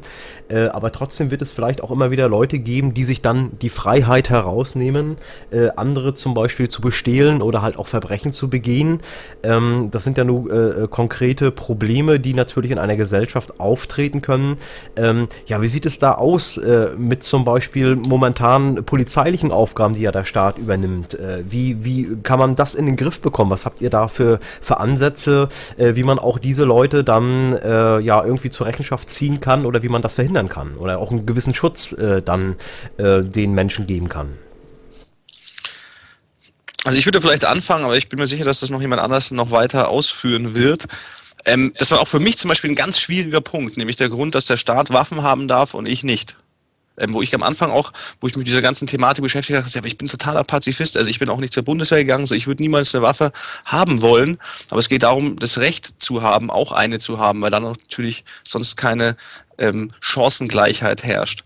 Und wenn man sich damit wirklich beschäftigt und sich einfach mal überlegt, ähm, theoretisch könnte jeder eine haben, das würde dann auch bedeuten, derjenige, der nämlich jetzt hier gleich durch die Straßen zieht, ähm, rauben will und vergewaltigen will, der wüsste nicht, dass nur er bewaffnet ist, weil der holt sich die illegal. Dem ist es doch scheißegal. Der wird jetzt eh gleich ein Verbrechen begehen. Ähm, ich glaube nicht, dass es dann die Form von Gewalt geben würde und es gibt auch dazu einige Videos im Netz. Ähm, und es war natürlich auch in der Zeit noch bevor in Amerika äh, das Volk entwaffnet wurde, eben nicht so, dass es mehr äh, Gewalttaten gab. Das sind andere Gründe schuld, warum es dann mehr gab. Generell ist es einfach so, dass dann weniger Gewaltverbrechen stattfinden, weil einfach ähm, man sich nicht sicher sein kann, ob das Opfer auch wirklich unbewaffnet ist. Das ist schon mal ein Punkt. Ähm, ich hoffe, dass Hauke jetzt noch ein bisschen weiter ausführen kann und will. Ja, also ähm, wie ich ja vorhin schon gesagt habe, bin, nur weil, weil es kein Gewaltmonopol gibt, also sagen wir mal keine, keine Regierung, keine Regierungsorganisation, die das, die das übernimmt, bedeutet ja nicht, bedeutet es ja nicht, dass diese Aufgabe nicht von jemand anders übernommen wird, erst einmal. Ja? So, und wenn äh, in, einem, in einem System äh, ohne eine, sagen wir mal, eine, eine herrschende Regierung die Menschen miteinander zusammenleben und, eine, und die Menschen wollen Sicherheit haben, dann werden sich, ähm, ich soll sagen, nennen wir sie einfach mal Agenturen finden, die Sicherheit anbieten. So, und das wird ähnlich sein, wie, wie es heute bei Versicherungsagenturen ist man wird sich gegen Diebstahl, gegen Gewalttaten, gegen was weiß ich nicht alles versichern, so wie man das heute äh, in vielen Dingen ja auch tut. Und man wird, wenn man, wenn man so eine Versicherung abschließt und sich gegen, gegen Straftaten versichert, äh, genauso in der Police haben, dass man sich, äh, dass man selber keine ausüben darf. Und wenn man selber eine ausübt, obwohl man sich äh, vertraglich verpflichtet hat, keine auszuüben, dann hat man auch die Konsequenz akzeptiert, die ebenfalls vertraglich vereinbart ist. Das heißt, wenn ich jemanden bestehe, äh, meinetwegen, ich klaue irgendeinem, äh, ich breche jetzt bei einem, irgendeinem ein und klaue ihm sein Fernseher. So. Und der Kerl äh, hat, sich, hat eine Versicherung, die ihm garantiert, äh, dass äh, Diebstahl ersetzt wird bei ihm. Ja, so, dann wird er den Diebstahl melden. Die Versicherung hat ihm vielleicht gesagt, pass auf, mach eine gute Alarmanlage und äh, vielleicht machst noch paar Kameras draußen ringsrum. Und die sehen mich jetzt. So, ich schleppe also den Fernseher da aus seiner Wohnung raus oder aus seinem Haus und, und hau damit ab. So, dann klingelt seine Versicherung bei meiner Versicherung an und sagt, äh, hier, der hat und so weiter geklaut. Und meine Versicherung würde wiederum mit mir in Kontakt treten und sagen, du pass mal auf, du hast gegen Vertrag XY verstoßen, du schuldest dem Mann einen Fernseher. Äh, so, wie sieht es denn aus, hast den geklaut? So, und dann würde man sich vor einem, äh, vor einem unabhängigen Schlichter, würden die beiden äh, Versicherungen sich, wie, wie, das heute ja, äh, gibt es ja, gibt's ja auch genug. Also es gibt ja auch private Schlichtungen heute, das ja nicht alles nur immer vor irgendein staatliches Gericht äh, gezogen wird. So, man würde sich vor einem, vor einem unabhängigen Schlichter treffen, äh, den die Versicherungen vorher ja äh, vereinbart haben miteinander, aus, weil sie das oft machen. So, und der wird ein gutes Recht sprechen. Der wird die Dinge objektiv betrachten und wird entscheiden, äh, wie ist der Sachverhalt. Das ist im Prinzip von der, ganzen, von der ganzen Abwicklung her überhaupt nichts anderes als heute. Also es wird Gerichte geben, es wird auch äh, Leute geben, die die äh, Gewaltverbrecher fangen, die werden, äh, vielleicht he heißen die dann auch Polizisten, keine Ahnung, aber das, worum es geht, ist, dass die Finanzierung dieser, dieser Organisation oder mehrerer, viele, das werden ja viele Organisationen machen, dass die Finanzierung dieser vielen Organisationen nicht mehr auf Besteuerung beruht, sondern auf Verträgen, die gemacht werden und die mit Beiträgen bezahlt werden. Aber Gerichte brauchen doch auch letztendlich wieder Regeln. Ja, also es muss ja irgendwo auch ein Strafmaß geben. Also gut, der Diebstahl ist das ja, eine, ja. Äh, aber ja. sag mal, wenn wir jetzt in die, die äh, äh, schlimmeren Straftaten gehen, so wie Mord zum Beispiel, Vergewaltigung oder was es da halt auch noch für unschöne Sachen gibt, ähm, äh, wie, wer legt die Strafe fest und, und, und wer, wer bestimmt auch diesen, diesen ja, Katalog dafür, also welche Strafe halt festgelegt werden darf für welches Verbrechen? Also äh, Mary Rothbard beispielsweise ist auch ein sehr, ja, ein, im Prinzip der, der Erfinder äh, unserer Denkrichtung. Der hat äh, das sehr schön geschrieben. Das bedeutet aber nicht, dass ich das eins zu eins so unbedingt, äh, sagen wir mal, umsetzen würde. Aber der, der hat gesagt, dass ähm, wenn mir jemand einen Fernseher klaut, schuldet er mir einen Fernseher. Wenn mir jemand meine Uhr klaut, schuldet er mir diese Uhr oder den Wert dieser Uhr. Natürlich auch noch zusätzlich die Kosten, die mir entstehen durch die Wiederbeschaffung. Also das ist so eine Art als Maximalstrafe, so eine Art Auge-um-Auge-Prinzip. Das heißt, klaut mir einer ein Auto, schuldet er mir das Auto und den zusätzlich entstandenen Aufwand. Das ist so ungefähr das Strafmaß. Nun kann man natürlich äh, nicht davon ausgehen, dass äh, ein, ein Leben einen einen fixen Wert hat. Wenn ich jetzt also äh, getötet werde, dass man sagen kann, haha, das Leben von dem Kerl, das war jetzt eine Million wert oder so, das ist natürlich Quatsch. Ja? So, ähm, ich habe heute eine Lebensversicherung abgeschlossen und äh, wenn ich getötet werden würde, dann würde es irgendeine, äh, was weiß ich, der, der Mörder, der mich tötet oder beispielsweise, der hat auch eine Versicherung äh, abgeschlossen zur eigenen Sicherheit. Und in diesen, in, jeder hat in seinen Versicherungspolicen genau, äh, genaue Richtlinien drin stehen, was passiert, wenn er selber Straftaten begeht. Was ist die, was ist die, die Konsequenz dafür? Das ist heute, wenn ich, wenn bei uns hier jemand einbricht oder so, äh, wir haben ein Geschäft und wenn da einer einbricht und ich habe ich hab kein Panzerglas oder ich habe, dann gibt es Konsequenzen. Dann zahlen die nur einen gewissen Teil oder so. Und äh, bei diesen Versicherungen wäre das eben so, dass, die, dass derjenige, der mich umgebracht hat, eine Konsequenz, die in irgendeiner Form vertraglich vereinbart wäre, die wüsste er, was dann passiert. So, ich, ich habe keine Ahnung, ob, der, ob, der, ob es Gefängnisse geben würde. Vielleicht würde es das, vielleicht auch nicht. Wenn die Gesellschaft bessere Lösungen findet später in einer voluntaristischen Gesellschaft als Gefängnisse, dann wird sich diese bessere Lösung äh, dafür finden und die wird sich durchsetzen. Wenn ein Gefängnis die beste Lösung, die eine voluntaristische Gesellschaft zustande bringen kann, ist, dann wird es Gefängnisse geben für solche Leute. Ob die Gefängnisse so aussehen wie heute, dass man äh, immer mit dem Rücken an der Wand durch die Gegend laufen muss, weil man Angst haben müsste, sonst, ich will das jetzt gar nicht weiter ausführen. Äh, das bezweifle ich mal, dass die Gefängnisse so aussehen. Und ich bezweifle auch, dass sie so voll werden. Ja, wir, es gibt in der, in der, bei den äh, sag mal, voluntaristischen Denkern mehrere Denkrichtungen. Für, für äh, Robert Murphy gibt es Gefängnisse. Der kann sich das sehr gut vorstellen. Die wären eher wie Hotels. Dann gibt es einen Stefan Molyneux, der in, in Kanada sitzt und äh, eigentlich unser geistiges Mutterschiff ist, sage ich mal, der ist fest davon überzeugt, ohne jegliche Gefängnisse auszukommen. Aber das sind alles nur Theorien, Vermutungen. Ja? Das wissen wir nicht. Das werden die Menschen auf freiwilliger Basis, ohne Zwang und ohne Gewalt selber lösen müssen. Und das können wir. Wenn die Menschen das nicht lösen können, dann hätte diese Gesellschaft keinen dauerhaften Bestand. Die wird das lösen können. Ja? Und diese Lösung, wir wollen ja nur klarstellen, wie nach diesen Lösungen gesucht wird, ohne dass sich einer hinstellt und sagt, ich bin der Herrscher, jetzt beispielsweise in der Demokratie, ich herrsche hier im Namen, ich bin eine Minderheit als Regierung und herrsche im Namen der Mehrheit über die Gesamtheit. Und ich bestimme die Regeln, die gemacht werden und ich setze diese nötigenfalls mit Waffengewalt durch. Ja? Und äh, ich bin der oberste Richter, ich entscheide über jeden Disput, wirklich letztendlich entscheide ich, selbst bei den Konflikten, wo ich selber beteiligt bin, da entscheide ich auch. Was ist denn das für eine, was ist das für eine Gerechtigkeit, in der wir hier sind? Es muss einen unabhängigen, ein unabhängiges Schlichtungssystem geben, ja, das auch, äh, wo jeder unterworfen ist. Und die Basis für dieses Rechtssystem sind geschlossene Verträge und moralische Prinzipien. Das ist die Basis für so ein Rechtssystem. Ja, der Micha wollte, glaube ich, noch was dazu ausführen. Bitte schön. Ja, genau. Ähm, ich wollte auf jeden Fall erstmal ähm, damit anfangen. Ähm, das kann man jetzt alles nicht richtig erklären, aber in einer voluntaristischen Gesellschaft würde es äh, aus mehreren Gründen erstmal grundsätzlich viel weniger Gewalt geben und kriminelle Handlungen. Es wird trotzdem was geben, aber es wäre erstmal weniger. Ja, und dann gibt es ja, es gibt ja zwei Arten von kriminellen Handlungen. Es gibt die äh, die auf einem Motiv basieren. Das heißt, ähm, weil, weil jemand was essen will oder weil er halt irgendwas will, weil er was damit erreichen will oder was ähm, aus Emotionen. Dagegen kann man sich ja weniger schützen. Aber der andere Teil, ob das jetzt nur Beschaffungskriminalität ist, wie in den USA zum Beispiel, äh, die meisten Delikte äh, oder die meisten Leute, die im Gefängnis sind, wegen Drogen im Gefängnis sind, das das würde alles in der voluntaristischen Gesellschaft wegfallen.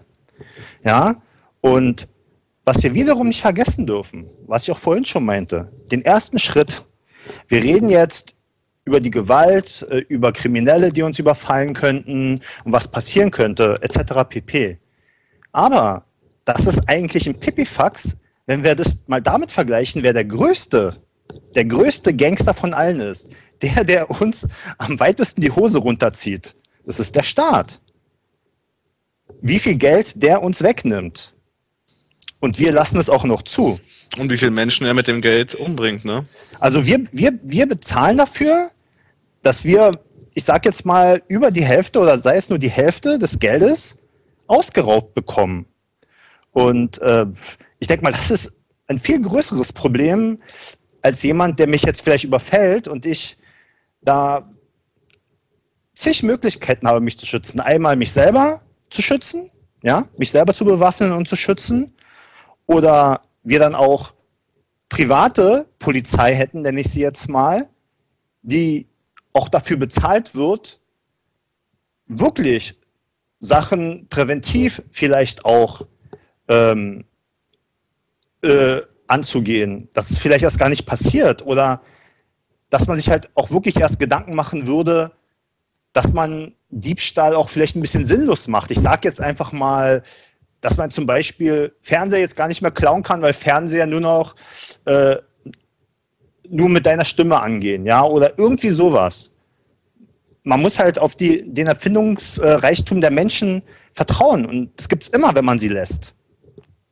Und was auch von der Logik her überhaupt nicht stimmt ist, wir haben ja, wenn wir über Kriminelle reden, ja Angst davor, dass jemand unser Eigentum stiehlt, ja, oder uns verletzt, ja, und, und das machen wir, indem wir einer kleinen Gruppe von Menschen die Macht geben, unser Eigentum zu stehlen und uns auch nötigenfalls körperlich zu verletzen und eine kleine Gruppe mit einer immensen Macht. Ja, wir sprechen ja von einer Riesenarmee, von einem Geheimdienstapparat, der immens ist.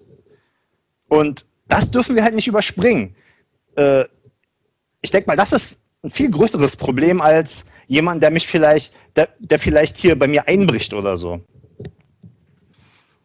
Also sprich, ähm, also dass wenn gewisse Mechanismen, wie wir sie heutzutage haben, da sind und äh, ja der Mangel sozusagen behoben ist, dass jeder sozusagen auch sein, äh, sein Einkommen hat, in welcher Form jetzt auch immer, äh, natürlich äh, aus eurer Sicht natürlich äh, aus der Selbstverantwortung heraus natürlich sein Einkommen generieren kann, äh, wird natürlich auch die Kriminalität logischerweise zurückgehen. Das ist mir schon verständlich. Ähm, die Frage ist aber nochmal äh, zu eurem, zu dieser Geschichte Rechtssystem. Ähm, äh, kennt ihr sowas zum Beispiel wie diese Ting-Geschichte? Ähm, äh, sagt euch der, der Begriff Ting et etwas? Und wenn ja, äh, wie findet ihr diese Geschichte auch äh, dort äh, Gericht zu halten mit einem, in einem Ting, in einem großen Ting? Sagt mir gar nichts. Mhm. Das ist doch diese, diese äh, äh altgermanische, ich sag mal, Zusammenkunft irgendwie auf dem Dorfplatz oder auf dem Tingplatz, dass man dort äh, irgendwas vorbringt und dann wird darüber entschieden oder so. Aber mehr bin ich auch nicht so im, im Thema da, muss ich genau, sagen. Genau, da wird dann praktisch im, äh, im äh, großen äh, Kompromissverfahren sozusagen dann geurteilt mit allen Beteiligten des Dorfes zum Beispiel über äh, diese Straftat zum Beispiel. Äh, Finde ich auch eine sehr interessante also, Sache. Also es wird ja in vielen, vielen Ländern noch mit dem Ting gearbeitet. Äh, Island ja. zum Beispiel, sehr viel Schweiz gibt es noch Ting-Gemeinschaften und auch hier in Deutschland. Wir hatten ja diese Geschichte auch schon mal vorgestellt. Peter Christoph von der Ting-Gesellschaft hier, Gemeinschaft, Genossenschaft, ähm, die das ja auch so praktizieren, ist auch sehr interessant, äh, weil man da halt auch immer zu einem Konsens finden muss, sozusagen. Und es kann mhm. auch niemand irgendein, ja, eine, also Stimmen kaufen, Stimmen korrumpieren und so weiter weiter. Also da gibt es, äh, das ist einfach dadurch ausgeschlossen im Ting. Ja. Das gibt's, da gibt es ja noch mehr. Die, es gibt ja noch Völker, also die San, glaube ich, das ist so ein, ein, Volk in Afrika, die leben auch so. Also die haben auch keine, keine, äh, keine, keine Regierung, Führer oder irgendwie sowas. Die leben auch einfach so zusammen. Oder beispielsweise auch in Somalia gibt es ein, ein Rechtssystem, das neben, neben dem staatlichen, ich meine, da gibt es ja im Moment keinen, keinen richtigen Staat in dem Sinne, aber es gibt dort ein, ein, schon immer ein parallel laufendes Rechtssystem, das sich XIR nennt. Äh, das ist auch so ähnlich. Ich kann da nicht, weiß da nicht genau darüber Bescheid, aber ich las das mal. Die haben auch so eine Art äh, privates Rechtssystem dort, das auch sehr, sehr erfolgreich sein soll. Und das Gute ist, das wäre alles in einer voluntaristischen Gesellschaft möglich. Das Problem ist ja heute, dass wir uns überhaupt dar darüber streiten müssen, welches Rechtssystem denn besser ist. Und ich meine, eigentlich können wir aber nicht entscheiden. Aber in einer voluntaristischen Gesellschaft könnten die parallel nebeneinander ablaufen und es würde sich das Beste durchsetzen. Wenn, wenn beispielsweise, was heute ist ja ein großes Problem, dass wir, ähm, ich sag mal, nicht mehr nur national regiert werden, also jetzt, äh, ich sag mal, durch, durch unsere deutsche Regierung, sondern wir, das wird immer größer. Dieses ganze Konzept der Politik und der, der Herrschaft wird immer größer. Mittlerweile wird alles in Brüssel bestimmt. Ähm, äh, umgekehrt also wenn man eine Entwicklung einleiten würde, dahin, wo wir hinwollen, irgendwann mal, in, in vielen, vielen, vielen Jahren, müsste die Entwicklung anders sein. Sie müsste zurück in die Region gehen, zurück in die Gemeinschaft gehen, in die Dorfgemeinschaft, in die Stadtgemeinschaft. Äh, je, je mehr sich Leute kennen und je besser sie sich kennen, desto äh, eher können sie auch Lösungen finden, die sie selbst betreffen, die ihr eigenes Umfeld betreffen und so weiter. Das heißt, diese, diese Ting-Geschichte finde ich super. Es gibt ja auch mehrere, mehrere Ansätze, die auf die, auf die äh, äh, Regionalisierung, sagen wir mal, der Politik ne, äh, eingehen. Also ich meine, die, die PDV möchte ja beispielsweise auch äh, das alles in die Region zurückbringen, alles in die Gemeinschaft zurückbringen. Und Andreas Popp will das auch mit seiner Wissensmanufaktur, dass äh, die ganzen Dinge, die ganzen Entscheidungen, diese Dinge wieder in die Region zu bringen. Das ist als Weg dahin, wo wir hinwollen, sicherlich eine gute Idee, denke ich mal. Also das, was wir jetzt haben, immer globalisierter, auch die, die Machtstrukturen zu haben, äh, nach Europa, was weiß ich, was danach kommt, eine Weltregion, keine Ahnung, weiß ich nicht. Aber das ist, das halte ich für grundfalsch. Ja. Je, je, je weiter man sich äh, von den Menschen entfernt, desto weniger gerecht und weniger fair kann das sein. Ja, wie gesagt, das ist natürlich auch das Problem der Demokratie, die eigentlich ja auch nur in einem kleinen, überschaubaren Raum äh, funktionieren kann. Und je größer sie wird, umso unübersichtlicher und korrupter wird das ganze System. Äh, aber nochmal zurück äh, zu diesem Rechtssystem. Ähm, äh, wie, wie, sieht denn das aus? Wer äh, gibt es dann auch noch wieder eine übergeordnete Kontrollinstanz, die dann zum Beispiel auch gerade ähm, diese privaten Einrichtungen, äh, privatisierte Polizei, privatisierte Gerichte, Security etc etc. Gibt es da auch eine Möglichkeit, die dann auch zu kontrollieren, dass da auch Machtmissbrauch nicht entstehen kann? Ähm, oder was habt ihr da für Ideen, dass das irgendwo äh, im Einklang bleibt? Ähm, Hauke oder soll ich? Mach du.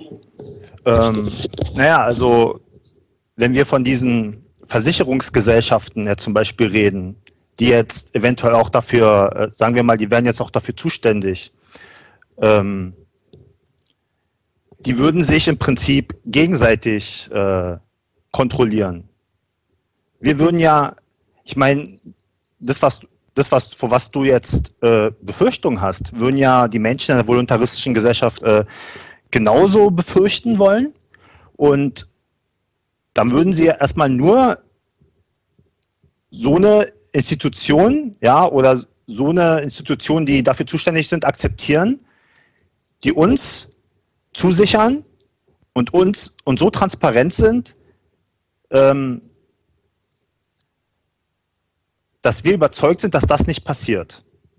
Nummer eins, kein, keine von denen, äh, keine Gesellschaft würde ja wollen, dass eine andere Gesellschaft größer wird als die andere und sie vom Markt drängt, sage ich jetzt mal. Das wäre zum Beispiel erstmal äh, das Moment der Selbstkontrolle.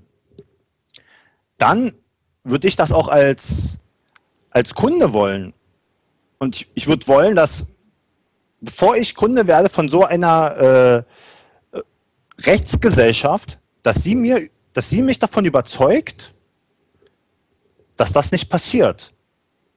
Dass sie praktisch nicht äh, irgendwann groß wird. Und ich denke mal, hinter, hinter deiner Frage steckt ja, dass äh, wegen der Kontrollinstanz, dass, dass eine Rechtsagentur, sage ich jetzt mal, irgendwann so groß wird und im Prinzip das wird, was wir jetzt schon haben. Genau, also es könnte ja sein, dass man ja? über einen Zeitraum hinaus, äh, sag ich mal, weil man halt gute Produkte anbietet, sei es Versicherungen oder wie auch immer, oder die Dienstleistung halt im Rechtsbereich, sich dann auch wieder sehr viel Macht anhäuft, weil man halt sehr viele Kunden hat, die man äh, betreut, äh, wie eine Versicherungsagentur, äh, und dann auf einmal schlägt das aber um, weil man erkannt hat, okay, man hat jetzt so viele Leute am Haken und die sind irgendwie auch gebunden, weil halt bei Beiträge zum Beispiel eingezahlt wurden in diese Versicherungen, äh, auf die sie zurückgreifen können und dann sind die Leute Leute ja dann irgendwann auch in, in irgendeiner vielleicht Falle, äh, dass man sagt, okay, jetzt missbrauchen wir das ganz einfach mal. Äh, also wie kann man da zum Beispiel auch eine Monopolbildung, eine Machtkonzentration äh, dann verhindern in dem Moment? Also das, das denke ich, wird sich schwer verhind zu verhindern lassen. Also wenn man da nicht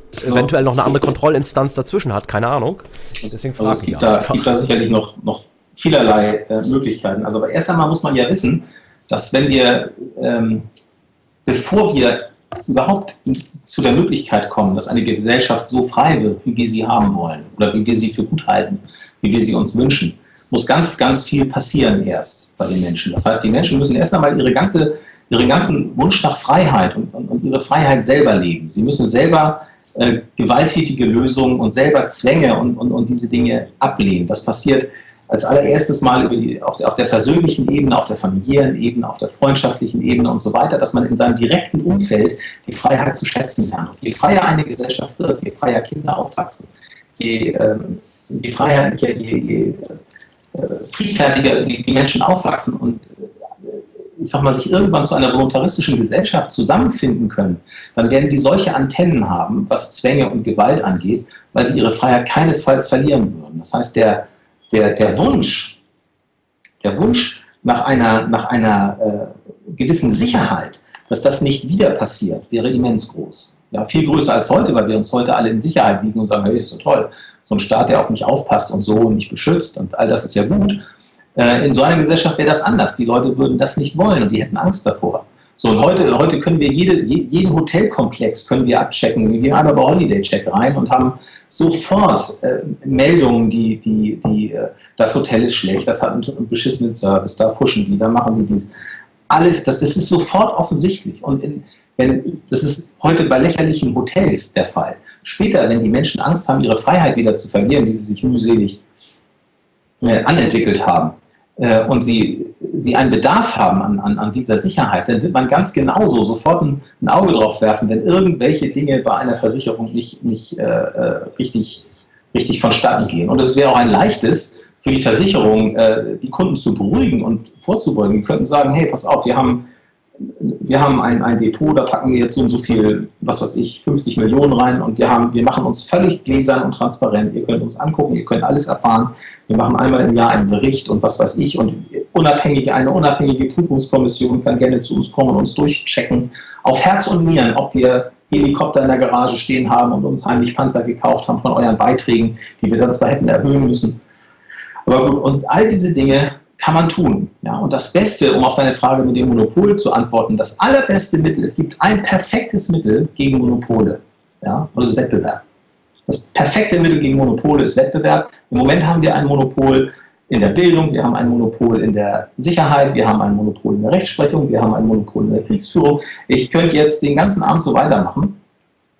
Äh, die Ängste, die jetzt, die, die vorgebracht werden, die du jetzt hier exemplarisch natürlich äh, äh anführst, das ist nichts weiter als eine, eine Schilderung der Realität. Ja, das Aber auf eine, Seite, Schilderung der Realität. Auf der anderen Seite, ähm, wenn wir davon ausgehen, wenn wir vielleicht vor äh, einigen hunderten Jahren, vor einigen tausend Jahren Gesellschaften hatten, die ohne Staat klarkamen, die vielleicht auch schon, die auch schon nachweislich im Ting zum Beispiel gelebt haben, muss es ja auch in diesen Gesellschaften irgendwann einen Punkt gegeben haben, äh, wo sie, trotzdem sie äh, mit der Freiheit äh, vielleicht auch gut betraut waren, äh, dann in diese Staatsgeschichte mit reingerutscht sind oder in diese ja. Beherrschungsgeschichte. Also das, das meine ich, äh, dass das eventuell ja dann auch wieder passieren kann. Das könnte jetzt 20 oder 100 Jahre oder 200 Jahre vielleicht gut gehen, äh, aber dann könnte das wieder sogar. missbraucht werden. Ja? ja? kann ich dir sogar ein Beispiel. Also ich habe mich da ziemlich in diese, in diese äh, Irland-Geschichte eingelesen. Das war schon ein paar Jahre her jetzt, aber äh, Irland beispielsweise war 1000 Jahre so. Also natürlich nicht genauso, auch nicht so modern wie das äh, so, aber die hatten so von, von der Tendenz her so eine Struktur, wie wir uns das vorstellen, natürlich sehr, sehr primitiv alles.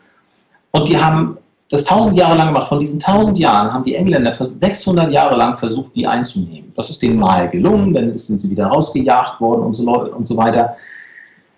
Die Iren hatten so einen Drang, sich nicht zu unterwerfen und nicht unterjochen zu lassen von einem, von einem äh, königlichen England, dass das 600 Jahre gedauert hat.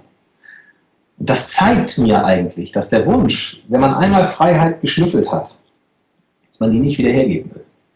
Und dass, dieses, dass dieser Wunsch und dieser, diese, diese, dieser, sagen wir mal, dieser Druck der Gesellschaft auch an die, an die, an die Versicherung, der, der Druck der Menschen auf diese Versicherung würde so immens groß sein, äh, weil ein Wettbewerb herrscht. Da wären, was weiß ich, äh, ich sag mal, wenn, wenn, keine Ahnung, wie viele tausend Versicherungen es da gäbe oder hunderte oder so, die diese Leistungen äh, anböten.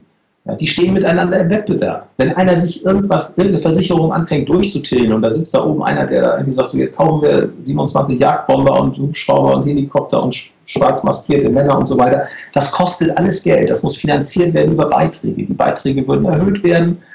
Die Versicherung würde uninteressant werden. Die Menschen würden äh, spitz kriegen, dass da irgendwas schiefläuft. Warum haben die sonst so hohe Beiträge? Auf, alleine aufgrund der hohen Beiträge würden sie zu einem Wettbewerber wechseln und so weiter und so weiter. Also der Markt hat schon ziemlich gute Mechanismen, Monopole zu verändern. Ja, also ich mache mir da wenig Sorgen um Monopole. Äh, aus der jetzigen Situation heraus auch, wo wir äh, im Prinzip umzingelt sind von einem Monopol, dass die Monopol das Monopol auf alles hat.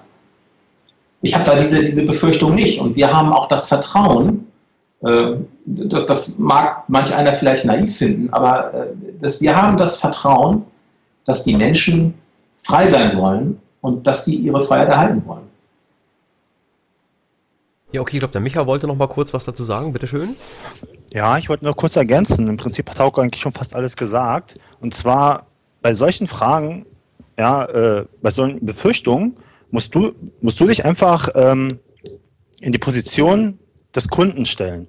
Und genau diese, diese Befürchtung, die du hast, musst, müsstest du dann von, von dem Anbieter verlangen du, du müsstest sagen, pass auf, ich habe Angst, dass du, ähm, dass du zum großen Monopol wirst. Ich habe Angst, dass du vielleicht irgendwann jetzt mit dem Geld äh, Waffen baust oder dass du korrumpiert wirst äh, von jemandem, der viel Geld hat, ja, der dann immer, äh, für den du dann immer entscheidest.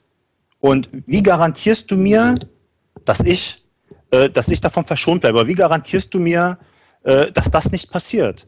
Und er muss pitchen er muss für mich, er will mich als Kunden und, und er, und er muss mich davon überzeugen, dass das nicht passiert. Und da hat ja Hauke ein paar gute Sachen gesagt. Äh, ich würde jetzt zum Beispiel, und du dann bestimmt auch, du würdest Transparenz verlangen. Ja? Du würdest vielleicht verlangen, oder er würde dir anbieten, oder du würdest verlangen, pass auf, äh, ich will, dass du in einen Pot ja, 10 Millionen reintust, oder wie viel auch immer. Und jedem das auszahlen musst, ja, du gibst es irgendeiner neutralen Stelle und die muss es jedem aus, rauszahlen, der rausbekommt, dass du dir nur eine Patrone zu viel gekauft hast. Oder, ja, oder dass du deine Macht missbrauchst oder deinen Vertrag mit mir nicht eingehst. Und so würde man das auf freiwilliger Ebene ähm, dann, dann regeln. Und äh, diese Befürchtung, die du hast, die, die hat im Prinzip jeder. Das heißt, sie würde adressiert werden und äh, es würde der die meist, das meiste Geld machen, den meisten Profit, sage ich mal, äh, der diese Ängste am besten adressieren würde. Und ich denke mal, das ist, das ist eine viel bessere Methode, dieses Problem zu lösen, als aus Angst, dass es irgendwann mal ähm, eine Institution geben könnte, äh, die dann groß wird und zum Gewaltmonopol dann ähm, aufsteigen wird, anstattdessen sofort ein Gewaltmonopol zu wollen. Ja, okay, Manuel wollte noch mal. Ja, eigentlich, der Micha hat es vorhin auch schon mal gesagt und ähm, nochmal um diese Kontrollfunktion, um die es ja dann doch eigentlich geht. Also man sagt dann so, die, die bessere Alternative zu dem Voluntarismus ist ja dann doch wieder irgendetwas mit Kontrollfunktion. Wer ist denn diese Kontrollfunktion? Es können doch nur Menschen sein.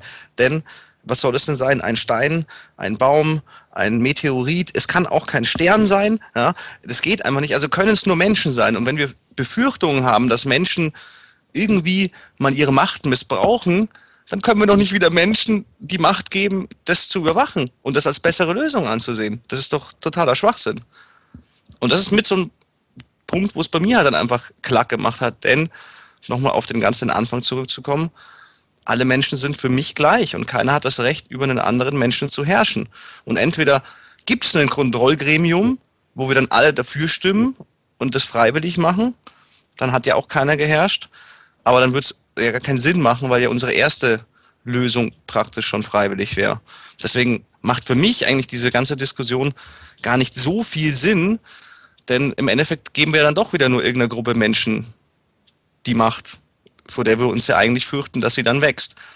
Ähm, generell, vielleicht wenn ich das so anbringen kann, ist es eh so, dass es ähm, sehr politisch eigentlich jetzt ist, so sehr theoretisch auch unsere Diskussion, was auch wichtig ist, weil das sicherlich auch Themen sind, die viele Leute beschäftigen, weil wir dort natürlich die größten Probleme haben.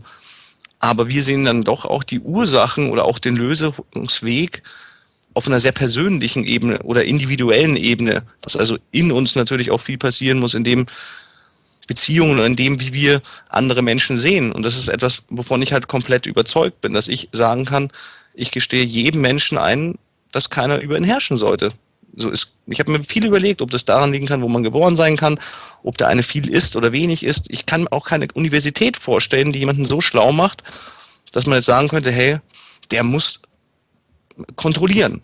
Also glaubst du denn, der, glaubst du denn der, der, der herkömmlichen Meinung, dass viele sagen, okay, ähm, der Mensch ist halt so gestrickt, man hat prozentual immer charakterlich äh, ein paar Leute dabei, die halt äh, Machtinteressen haben, ähm, äh, die gewaltbereiter sind als andere? Oder meinst du wirklich, dass man das tatsächlich mit einer grundsätzlichen Werteänderung der Gesellschaft, sprich auch Erziehung äh, in den Elternhäusern, äh, in, in, ähm, ja, in anderen äh, Einrichtungen dann halt, die es dort geben könnte, verhindern? verhindern kann, dass es äh, äh, solche Leute nicht geben wird, die dann äh, ähm, sich Macht aneignen wollen oder auch ihre Macht ausnutzen wollen oder Gewalt ausüben wollen. Also das ist ja zum Beispiel dann immer der Spruch, der Mensch ist halt immer so, es wird halt äh, äh, immer Menschen geben, die äh, das ausnutzen werden, es wird immer Menschen geben, die mehr haben wollen als andere etc. Oder glaubst du gänzlich, dass das dadurch auch ähm, durch ein verändertes Wertesystem so gut wie ausgemerzt werden könnte?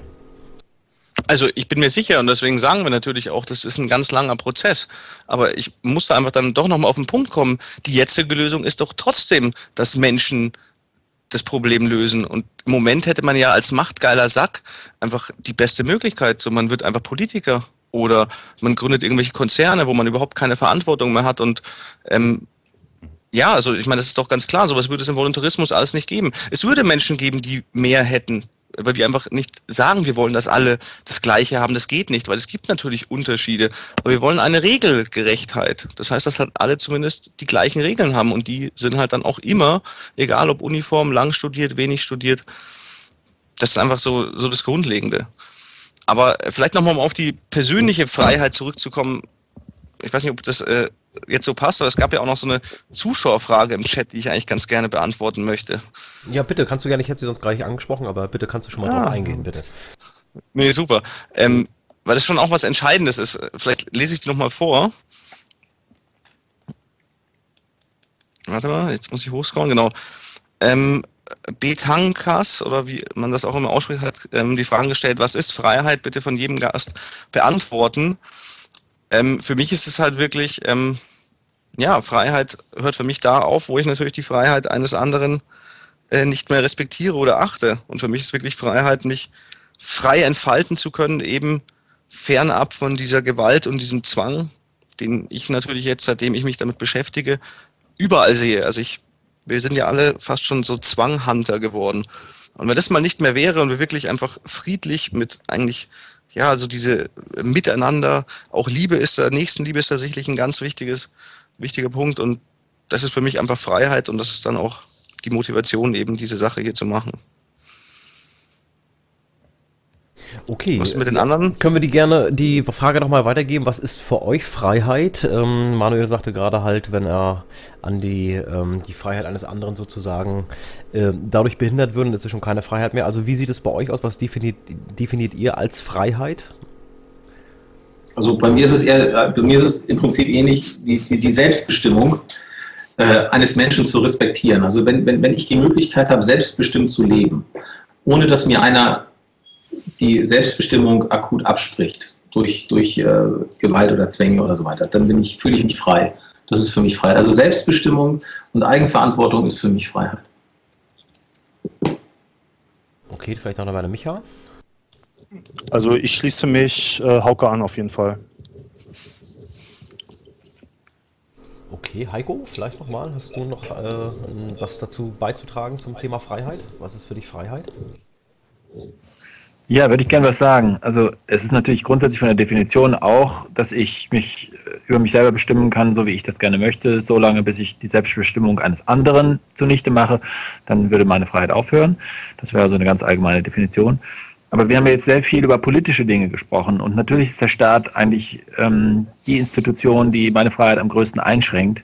Für mich selber war der Anstoß, mich mit der ganzen Sache zu beschäftigen, dass meine Kinder eingeschult wurden und ich festgestellt habe, dass ich irgendwie gedacht habe, die nächste, wie hieß es, örtlich zuständige Schule, naja, die wird schon irgendwie okay sein. Ich bin auch so ein Ding gegangen, das hat schon hingehauen. Und als ich dann festgestellt habe, was für ein Mist das ist, und dann festgestellt habe, dass ich mit diesem Ding erstmal verdammt fest, festsitze und nicht einfach da so rauskomme, da habe ich angefangen, wirklich mich zu ärgern und gedacht, was ist das denn jetzt hier? Ich komme hier nicht weg, meine Kinder leiden, die Lehrer, äh, mit den Lehrern kann man nicht reden. Also das ist natürlich auch, hat politische Hintergründe, dass das Schulsystem eben einfach ein Monopol ist, wo man nicht rauskommt. Aber ähm, da hat mich einfach gestört, dass meine Kinder, dass ich meine Kinder nicht so aufziehen konnte oder ihnen nicht die Umwelt bieten konnte, die ich finde, die sie verdient hätten. Nämlich eine respektvolle und eine anregende und eine spannende. Und, und das habe ich in der Schule nicht erlebt. Und ähm, also das wollte ich nur sagen, um zu, um zu sagen, es geht, äh, also die Freiheit wird immer da interessant, wo sie einen berührt. Und es kann sein, wenn man feststellt, dass einem vom Lohn so eine Menge abgezogen wird. Es kann sein, dass, einem, dass man feststellt, dass die, dass die Kinder in der Schule nicht das erleben, was, was ihnen eigentlich zustehen würde.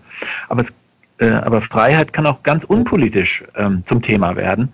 Nämlich zum Beispiel, wenn ich, ähm, wir hatten vorhin das Thema Weihnachten, wenn ich, wenn ich finde, dass die Familienzusammenkünfte an Weihnachten oder irgendwelche Adventsfeiern total langweilig sind und dass da inhaltslose Gespräche geführt werden und dass das alles irgendwie Leute sind, die über nichts nachdenken und die auch nicht ehrlich sind, sondern irgendwie nur Blabla machen.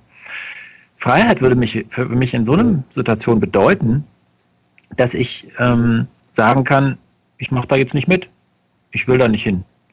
Oder Freiheit würde für mich auch bedeuten, dass ich meinen Eltern vielleicht sagen kann, weißt du, ähm, ist ja alles schön und gut, ich merke auch, dass euch Weihnachten wichtig ist, aber ich finde das so langweilig. Können wir nicht dagegen was tun, dass das so langweilig ist? Können wir nicht ein bisschen die Sache persönlicher gestalten? Und ich glaube, dass das für viele Menschen nicht möglich ist, dieses Gespräch, also so eine, so eine, ihre, seine, ihre Eltern so anzusprechen. Und das hat jetzt mit dem Staat ja erstmal gar nichts zu tun, weil das ist eben eine innere Unfreiheit, wo man vielleicht Angst hat, ehrlich äh, eine Rückmeldung zu geben, die nicht so angenehm ist. Und ähm, auch darüber, daraus Konsequenzen folgen zu lassen, zum Beispiel zu sagen, ich gehe nicht auf Familienfeiern, solange die so langweilig sind. Also das wäre für mich auch Freiheit, nur um das mal ein bisschen zu füllen, wie das konkret aussehen kann. Ja, eine weitere wichtige Grundlage sind ja zum Beispiel, also um Güter zu produzieren, überhaupt tätig zu werden, äh, sprich Rohstoffe zu akquirieren, ähm, ist ja zum Beispiel auch das Besitz, das Eigentumsrecht. Ähm, äh, wie findet ihr dort auch eine gerechte, faire Lösung, gerade auch jetzt, ähm, wenn man das umstrukturieren möchte, ähm, der, Beher also der bisherigen äh, Besitzverhältnisse? Ähm, also ähm, wie sieht eure Idee dort zum Eigentumsrecht aus? Weil das ist ja dann letztendlich, wenn ich Grund und Boden besitze, du vielleicht dort Rohstoffe finden. Also sprich, äh, es gibt äh, Länder, die haben halt Erdöl, äh, andere Rohstoffe. Äh, also wie, wie, wie kann das äh, funktionieren, dass da nicht einer wieder ähm, sich durch seine äh, Eigentumsrechte halt wieder ähm, ja, besondere Macht aneignen kann, weil er halt auf einem guten Rohstoffbereich ähm, sitzt zum Beispiel? Ja, also Eigentumsrecht, äh, Eigentum sollten wir vielleicht erst einmal definieren, wie wir Eigentum sehen. Nicht? Also für uns ist, ist Gehen wir mal aus von dem, von, dem, von dem, was wir jetzt als Eigentum definieren. Also wir wissen, wir können uns ein Stück Land kaufen, das ist mein Stück Land, ein Haus kaufen, das ist mein Haus. Äh, ähm, wie wenn, wenn, du, wenn, du, wenn, du, wenn du ein Haus kaufst, äh, nicht? Also die Erlangung von Eigentum ist ja auf mehrere Weise möglich. Das eine davon ist kaufen. Also wenn du ein Haus kaufst, ist es dein Eigentum. Ja, weil das äh, so. Und dann kannst du auch mit deinem Haus tun, was du willst, ja. Ja, wie, wie, wie soll das dann aber aussehen? Also wie, wie könnte man dort ähm, eine Umstrukturierung dann vom, also wir, wir, diese Gesellschaft würde ja auch nur funktionieren, wenn wir dort ähm, eine, eine Umstrukturierung haben des Eigentumsrechts oder des Besitzrechts. Ähm, Wieso? Äh, na, zu den heutigen, also wenn das jetzt so bleibt, wenn, wenn, wenn äh, die Leute, die ähm, jetzt momentan die Ländereien besitzen, äh, beziehungsweise ähm, Rohstoffquellen besitzen, etc., das in, in, der, in derer Hand bleibt, dann wird sich ja, denke ich mal, nicht viel ändern. Dann haben da ja viele wen oder wenige Leute heute viel, viel Macht ähm, äh, um zum Beispiel Energieressourcen. Meinst du, sprichst du jetzt an äh, eine, eine, eine Phase des Übergangs? Ja, wie, also wie könnte man die halt, äh, also was gibt es da für ein Konzept, diesen Knoten zu lösen? Ja, also äh, die werden ja nicht sagen, okay, mir gehört jetzt hier, äh, äh, sag ich mal, die Hälfte der, des, des Landes und das gebe ich jetzt mal freiwillig ab, weil andere ja haben, ja wollen ja auch frei sein, die wollen jetzt auch ein äh, Stück Land beackern, um sich zum Beispiel autark versorgen zu können. Ähm, da wird der eine sagen, ja, warum soll ich das jetzt machen? Ich habe es doch jetzt in diesem System äh, äh, rechtlich einwandfrei vielleicht erworben, vielleicht moralisch nicht ganz einwandfrei, das äh, mag ja durchaus sein. Ähm, aber was gibt es dann da für Ansätze, diesen Knoten zu lösen? Lösen? Ähm, und wie könnte dann später auch dieses Eigentums- oder Besitzrecht dann aussehen, dass man das auch gerecht verteilen kann? Also äh, Eigen, Eigentum bezeichnen wir als ein Recht auf die volle und ausschließliche Kontrolle auf eine knappe Ressource, über eine knappe Ressource. Also das fängt beim eigenen Körper an und das hört beim, das, das geht weiter über den Pilz, den ich aufsammle, weil ich ihn essen muss. Wir alle brauchen Eigentum. Ja? Wenn, uns, wenn, wenn, wenn wir die volle und äh, ausschließliche Kontrolle über unseren eigenen Körper ausüben und wir dann nicht das Recht haben dazu, das zu tun, dann kann uns ja jeder im Prinzip äh, töten, was weiß ich. Wir können ohne ein Eigentumsrecht an, an einem Nahrungsmittel, was wir uns kaufen, schenken lassen, finden, wie auch immer, ohne ein Eigentumsrecht daran gar nicht überleben. Weil wir üben in dem Moment, wo wir ein Nahrungsmittel essen, die volle und ausschließliche Kontrolle über dieses Nahrungsmittel aus. Und das Recht dazu, und das nur als generelles Recht, das nennen wir Eigentum. So, wenn äh, das Eigentumsrecht ist im Prinzip, das ist ja heute praktisch schon so. Die Art und Weise, wie man Eigentum erlangen kann, ist heute sehr merkwürdig. Ja, was weiß ich, mir fällt da jetzt der Konzern ein oder so, der, der äh, als, als juristische Person, den gibt es ja gar nicht in Wirklichkeit, sondern da sind eben Leute, die sich, die sich, äh, ob die sich alles immer rechtmäßig oder, oder moralisch aneignen, das wage ich mal stark zu bezweifeln. Wir beschreiben mit, mit unserem Konzept eine, eine Zielgesellschaft. Wir beschreiben eine Zielgesellschaft. Wir, es ist nicht die Aufgabe von Freiwillig Förder. Wir sehen das nicht als unsere Aufgabe an, jeden Knoten auf dem Weg dahin zu lösen. Wir haben kein Konzept dafür, was mit Leuten passiert, die jetzt, was weiß ich, denen halb Afrika gehört. Also ich, ich habe dafür kein Konzept. Das Konzept muss über die Jahre erarbeitet werden. Die Gesellschaft muss sich dahin entwickeln und es werden irgendwann dafür Lösungen gefunden. Es gibt ja, ich sag mal jetzt Leute beispielsweise oder, oder Gruppierungen, die sich für den Weg für zwischendurch sozusagen äh, äh, engagieren. Ich sag jetzt wieder die beiden, die mir mal einfallen, die PDV oder, oder Andreas Popp oder so, die, die irgendetwas für jetzt planen, die jetzt Umstrukturierung haben, weil hier Andreas Popp beispielsweise ja seine Eigentumsreform. Philosophisch finde ich es interessant, aber ich finde es nicht richtig so, wie sie es angehen mit einer Behörde, die das Eigentum anders regelt und so weiter. Da witter ich schon wieder Zwang. Ähm, aber wir, wir haben kein Konzept, wie man, ähm, wie man äh, jetzt schlagartig das ändern würde, sondern es muss eine Entwicklung sein, die wir nicht, äh, nicht äh, ich sag mal, beschreiben können in irgendeiner Form. Die, die, die Gesellschaft muss sich dahin entwickeln, wie das vonstatten geht. Darüber können wir reden, aber ich habe keine Lösung dafür, wie man äh, da mit diesen mit, mit Leuten umgeht, die zu viel unrechtmäßig erworben haben. Das kann ich nicht beurteilen. Na, weil es wäre ja dann auch wieder eine Anwendung von Gewalt äh, jetzt oder von Unfreiwilligkeit. Äh, wer jetzt viel okay. besitzt, wird ja auch äh, unfreiwillig. Dann äh, äh, glaube ich nicht, dass es da so einen ähm, äh, Bewusstseinswandel gibt, dass man sagt, okay, wir geben das jetzt mal frei oder wir spenden das oder wir verschenken das an, an Leute, die halt dafür gute Konzepte haben im kleinen Rahmen. Ähm, also wie gesagt, also, es gab ja zu DDR-Zeiten oder nach dem Zweiten Weltkrieg auch eine Bodenreform, die halt sehr sehr kritisch äh, zu betrachten war, wo auch sehr viel Leid mit ähm, äh, erzeugt wurde und dann wurde es natürlich auch wieder umgedreht, dass man das dann gleichzeitig wieder zu einer LPG in der DDR zusammengeschlossen hat, die ganzen Ländereien etc. Ähm, äh, äh, also wie gesagt, also das sind ja so aber Probleme ja, die gelöst werden müssen und, und, und, und sollen. Äh, weiß ich, gibt's da, hat da jemand vielleicht noch ein anderes eine Idee von euch aus dem Team?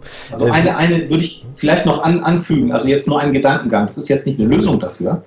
Aber äh, ich sag mal, viele von denen, äh, die, sagen wir mal, die wir jetzt oder auch die Zuhörer oder die, die wir uns alle so um diese Themen äh, Gedanken machen, die wir als so, sagen wir mal, die, die Herrschenden, die, die, die Schattenleute, so, die wir da so, die, die Superreichen, all diese, diese, ich habe keine Ahnung, wer das alles ist. So.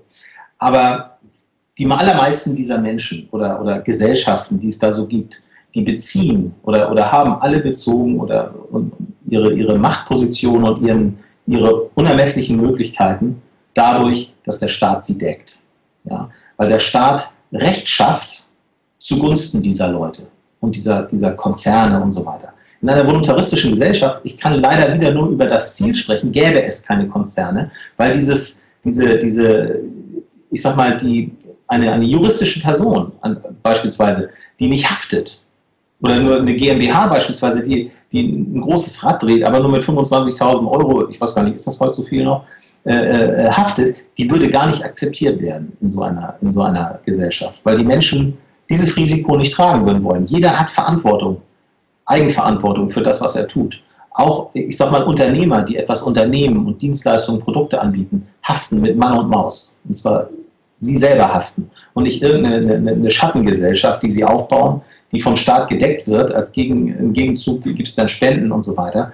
Das ist alles, dieses ganze System gäbe es nicht. Ich kann dir die Frage nicht beantworten, ähm, wie man im Jahr X, bevor man da hingekommen ist, jetzt damit umgeht. Dieses Konzept müsste noch erarbeitet werden. Das, äh, dafür haben wir kein Konzept. Ja, weil wie gesagt, das wäre ja auch, äh, wenn ich viel Besitz oder Eigentum habe, ähm, äh, also zwischen Besitz und Eigentum müssen wir ja auch nochmal unterscheiden. Ähm, äh, äh, wenn ich viel Eigentum habe nach heutigen Verhältnissen, dann äh, habe ich ja natürlich letztendlich auch eine gewisse Macht konzentriert in diesem System. Ja? In diesem also, System, ja. Ne, also deshalb müsste das ja dann irgendwo auch dieser gordische Knoten mal gelöst werden, äh, sodass letztendlich alle davon profitieren. Natürlich wird es dort dann nicht jedem gefallen, der jetzt gerade viel Eigentum hat hat, ähm, falls er dort halt Ländereien los wird zum Beispiel, ja, oder, oder Immobilien oder was auch immer. Ähm, äh, ja, wie gesagt, okay, da habt ihr also noch nicht so äh, äh ein, ein eigenes Konzept äh, mal entwickelt oder nachgedacht, wie man das. Ah, äh, das wollen wir auch gar nicht. Das ist, sehen wir nicht als unsere, als äh, das an, was wir tun wollen. Wir wollen ein, ein Ziel formulieren, wir wollen mit Prinzipien aufwarten, wir wollen ähm, zeigen, wie man miteinander umgehen sollte und wir wollen zeigen, wie man optimalerweise Lösungen für Probleme sucht. Und das in, in keinem von diesen Bereichen Gewalt und Zwang eine Rolle spielen muss, sondern dass es auch immer andere Lösungen gibt und dass wir die bevorzugen wollen und dass wir den Menschen vorschlagen, sie generell zu bevorzugen. Das ist der Punkt. Wir, wir, wir sind nicht, wir, wir wollen nicht jetzt die nächsten, in, im nächsten Jahr das umgesetzt haben und dann soll der Staat klein sein und dies und jenes. Wir, wir freuen uns, wenn es andere Organisationen gibt, die dahin wirken. Ja? Die unterstützen wir auch gerne. Wir sind Feuer und Flamme, allen zu helfen, die uns Richtung Freiheit transportieren. Wir geben oder wir möchten gerne ein, ein Ziel definieren, äh, das wir als das Beste ansehen, was, was, was möglich ist. Und die Latte liegt hoch, wir wissen das und wir brauchen viel Zeit dafür, das wissen wir auch. Aber wir sind stets motiviert, nur für den Weg zwischenhin brauchen wir Hilfe. Woran hapert es denn momentan? Wir sehen ja äh, gerade auch ähm, äh, in diesem System, ja, okay, gibt es noch sicherlich noch viele, viele andere Faktoren, äh, die da eine Rolle spielen, Geldsystem etc., wo wir, worüber wir auch schon ein bisschen gesprochen haben. Aber wir sind ja gerade dabei, äh, auch alles in die private Wirtschaft zu überführen. Also wir haben das äh, äh, selbst bei, bei sogenannten staatlichen ähm, Institutionen. dabei muss man natürlich bei der BRD da sicherlich auch nochmal was getrennt sehen, aber das Thema wollen wir heute nicht äh, hier äh, besprechen. Ähm, also wir sehen dass zum Beispiel, die Arge ist mittlerweile privat. Ähm, äh, wir sehen, dass, dass es sogar äh, die Möglichkeit gibt, dass es auch bald so Art private Polizei geben wird. Ähm, äh, also die, die Arbeitslosenverwaltung ist zum Beispiel privatisiert. Ähm, die ganze Infrastruktur ist mittlerweile privatisiert. Ähm, und äh, ja, irgendwie wird es aber dadurch äh, immer, immer, immer schwieriger, immer teurer äh, und der Wettbewerb ja. scheint nicht so zu funktionieren. Woran hapert es dann ja. da momentan? Naja, das, das, das hapert natürlich auch daran, dass, ich meine, das macht sich natürlich, das macht sich die, die, die macht sich der Staat auch sehr leicht, nicht? Die haben äh, sich, sich äh, Aufgaben äh, zusammengerissen. Also die haben überall gesagt, was können wir jetzt noch übernehmen, welche Aufgabe können wir jetzt noch übernehmen und dafür die Leute besteuern und der Staat wächst und wächst und wächst. Das erleben wir ja nun in, in fast jeder, äh, ich sag mal, der westlichen Länder, dass die, die Staaten immer, immer krakiger werden und alles an sich raffen. So, und jetzt sagt man, oh verdammt, äh, wir können das Ganze nicht mehr finanzieren. Jetzt privatisieren wir mal. Ja, was privatisieren Sie denn? Sie, Sie lagern im Prinzip nichts weiter als den Aufwand aus. Den darf dann ein anderes Unternehmen machen. Ja, der will da natürlich Geld für haben. Das heißt, der, so, der Bürger bezahlt die dann. Aber der Staat senkt die Steuern ja nicht in dem Sinne. Die Steuern behält er trotzdem, weil er mit dem anderen Kram nicht auskommt. Das ist natürlich ein Irrsinn. Ja, diese ganze, also das, was hier an Privatisierung läuft, das ist ja nicht das, was wir als, als Privatisierung ansehen, sondern ich sage einfach mal ein Beispiel, wenn, wenn, ähm, wenn man ein, ein Gutscheinsystem einführen würde, jetzt als, also als, das ist nur jetzt äh, als Lösung vielleicht, um irgendwann mal eine Schule, eine Schulprivatisierung hinzubekommen. Das könnte man folgendermaßen machen. Der Staat nimmt jetzt Steuereinnahmen ein für Bildung. Ich habe keine Ahnung, wie viel das ist. Ich beschäftige mich damit nicht.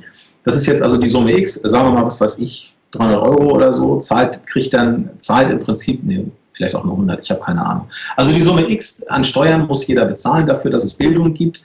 So, wenn jetzt die, die mit Kindern, die, die Familien mit Kindern eben Bildungsgutscheine bekommen würden, ja, und der Staat würde sich aus der Schule raushalten. Und die Schule könnten selber, die Schulen könnten selber entscheiden, was sie unterrichten.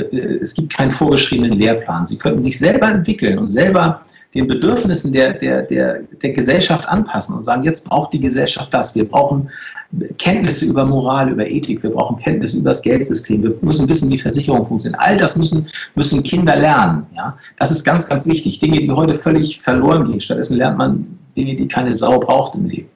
Ja? Wenn es das gäbe die, die, die Eltern könnten entscheiden, auf welche Schule sie ihr Kind schicken und sie könnten ihre Bildungsgutscheine wieder einlösen dort. An den Schulen. Sie hätten die freie Schulwahl und die Schulen hätten die totale Freiheit, ein, ein eigenes Bildungskonzept zu entwerfen. Dann hätten wir einen privaten Wettbewerb der Schulen.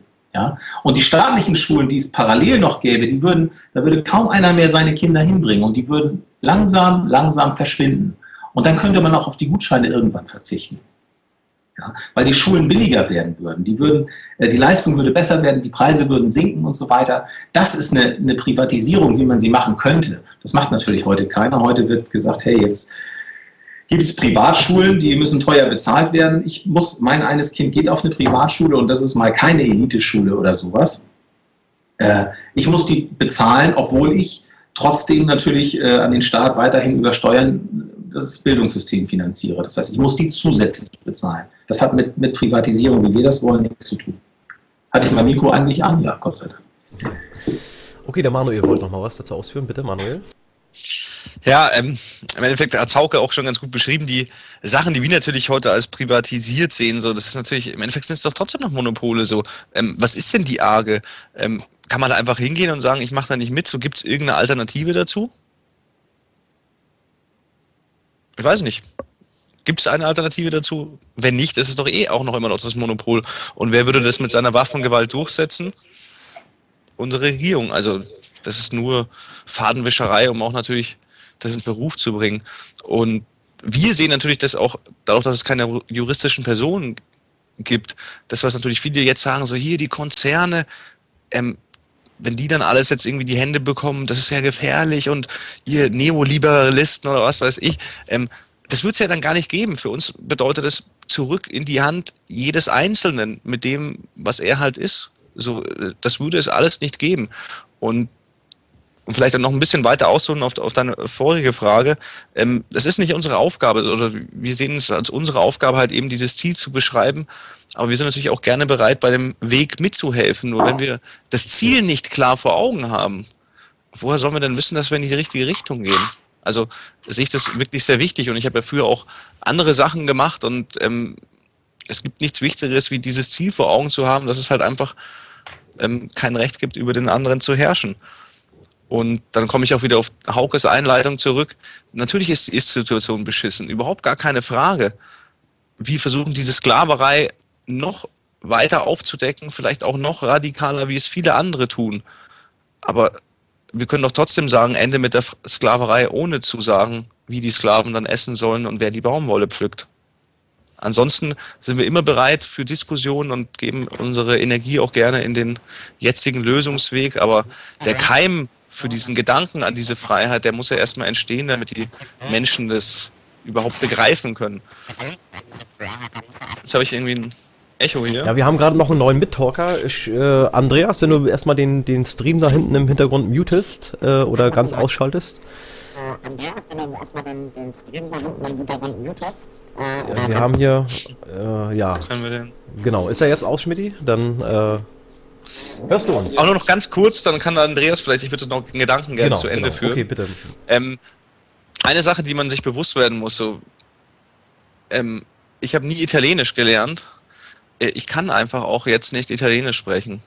Wenn unsere Kinder oder wenn wir niemals diese Sprache der Gewalt ähm, lernen, dann werden wir auch niemals ein System wollen, wo diese Sprache der Gewalt halt einfach vorherrscht. Aber dadurch müssen wir eigentlich erstmal erkennen, wo überall der, Gezwang, äh, der Zwang und die Gewalt ist, um das halt auch ähm, ja, erkennen zu können, um dann halt nach Alternativen zu suchen. Das wollte ich noch gerne zu Ende führen. Ja, okay, da. Also jetzt haben wir einen neuen Gast gleich nochmal, den gleich zu Wort kommen lassen, aber ich glaube, der Michael wollte auch nochmal was dazu sagen, wenn ich das richtig ja. gesehen habe. Genau, bitte Michael. Genau, ähm, wieder auch zu dem Thema äh, Lösung und die Zwischenlösung.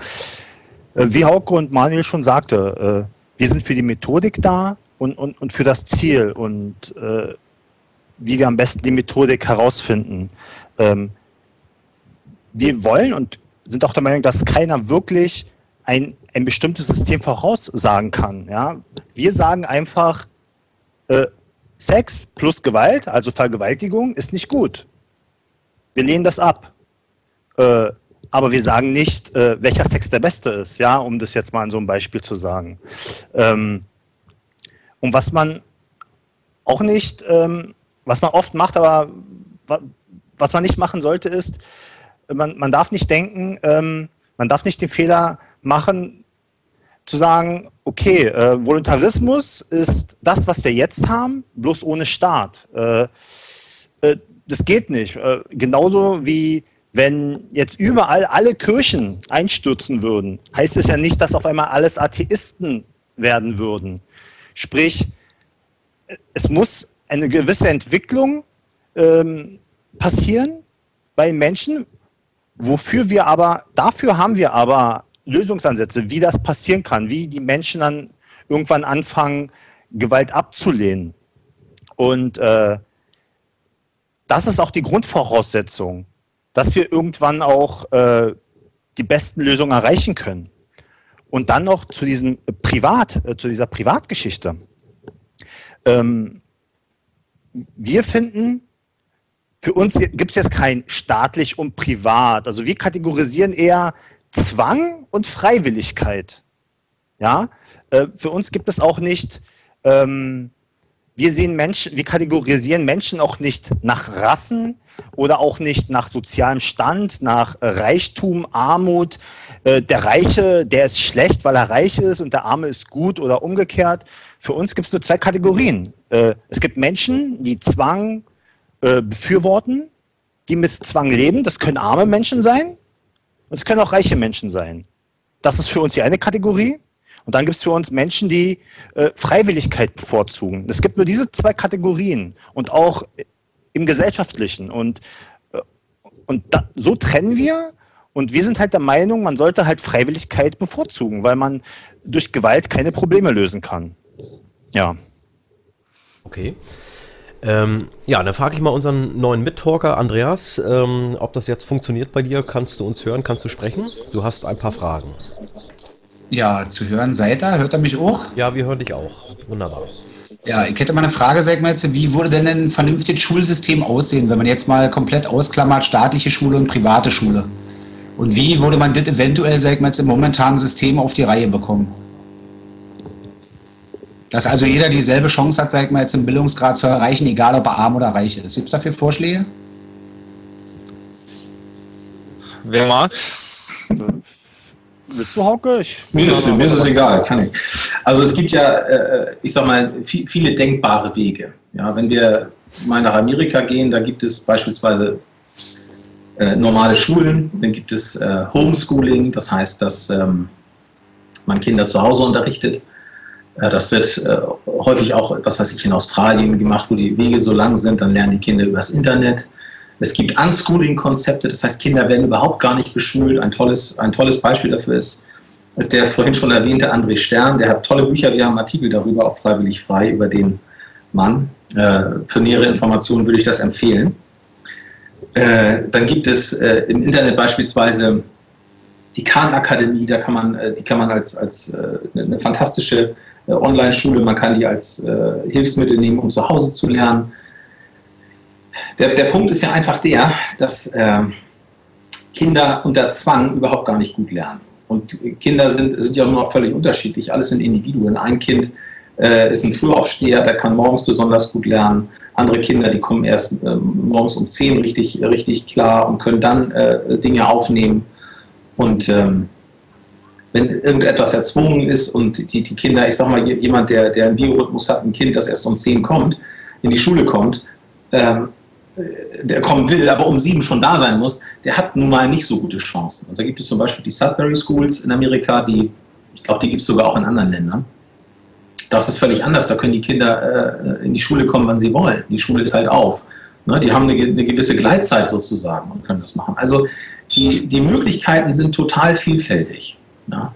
Es gibt äh, Dinge, die sinnvoll sind, dass Kinder sie lernen. Das ist zweifellos so. Kinder lernen von alleine unheimlich gerne. Kinder wollen lernen. Äh, lernen heißt aber nicht, dass man ihnen das Wissen, was Erwachsene glauben, dass sie wissen müssen, äh, eintrichtern muss. Das hat noch nie funktioniert. Wer darüber mehr wissen will, Gerald Hüther ist ein Gehirnforscher, der hält darüber immer Vorträge. Sehr interessant. Äh, Kinder entwickeln eine Leidenschaft zum Lernen. Aber Kinder möchten dann das lernen, am liebsten äh, wofür sie sich zu bestimmten Zeiten interessieren. Bei André Stern war das so, den ich immer äh, hervorkrame, wenn es um Schulen geht.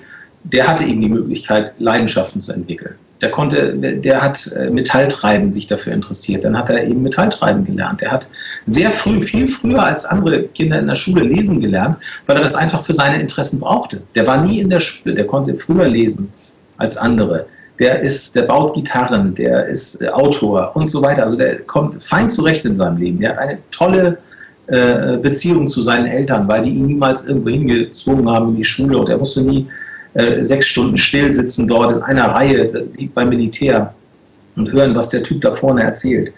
Ja, also äh, vor 150 Jahren waren, war, war Schule ein Klassenzimmer, 30 Kinder, ein Lehrer, eine Schiefertafel und ein Stück Kreide und heute ist Schule 30 Kinder, ein Lehrer, eine Schiefertafel und ein Stück Kreide. Das ist, äh, da hat sich nichts verändert und da verändert sich deswegen nichts, weil es der Staat macht. Ja, wenn der Computer erfinden würde, würden wir heute noch einen Abakus benutzen.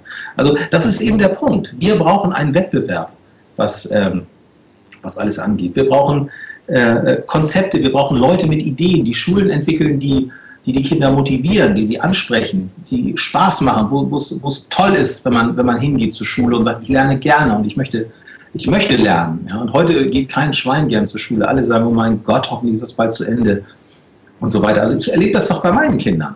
Meine Tochter, die, die, die, die hat so die Natur, die mag ganz gern zur Schule gehen. Für meinen Sohn ist es die Hölle. Es ist absolut die Hölle. So, und das ist, die Menschen sind unterschiedlich.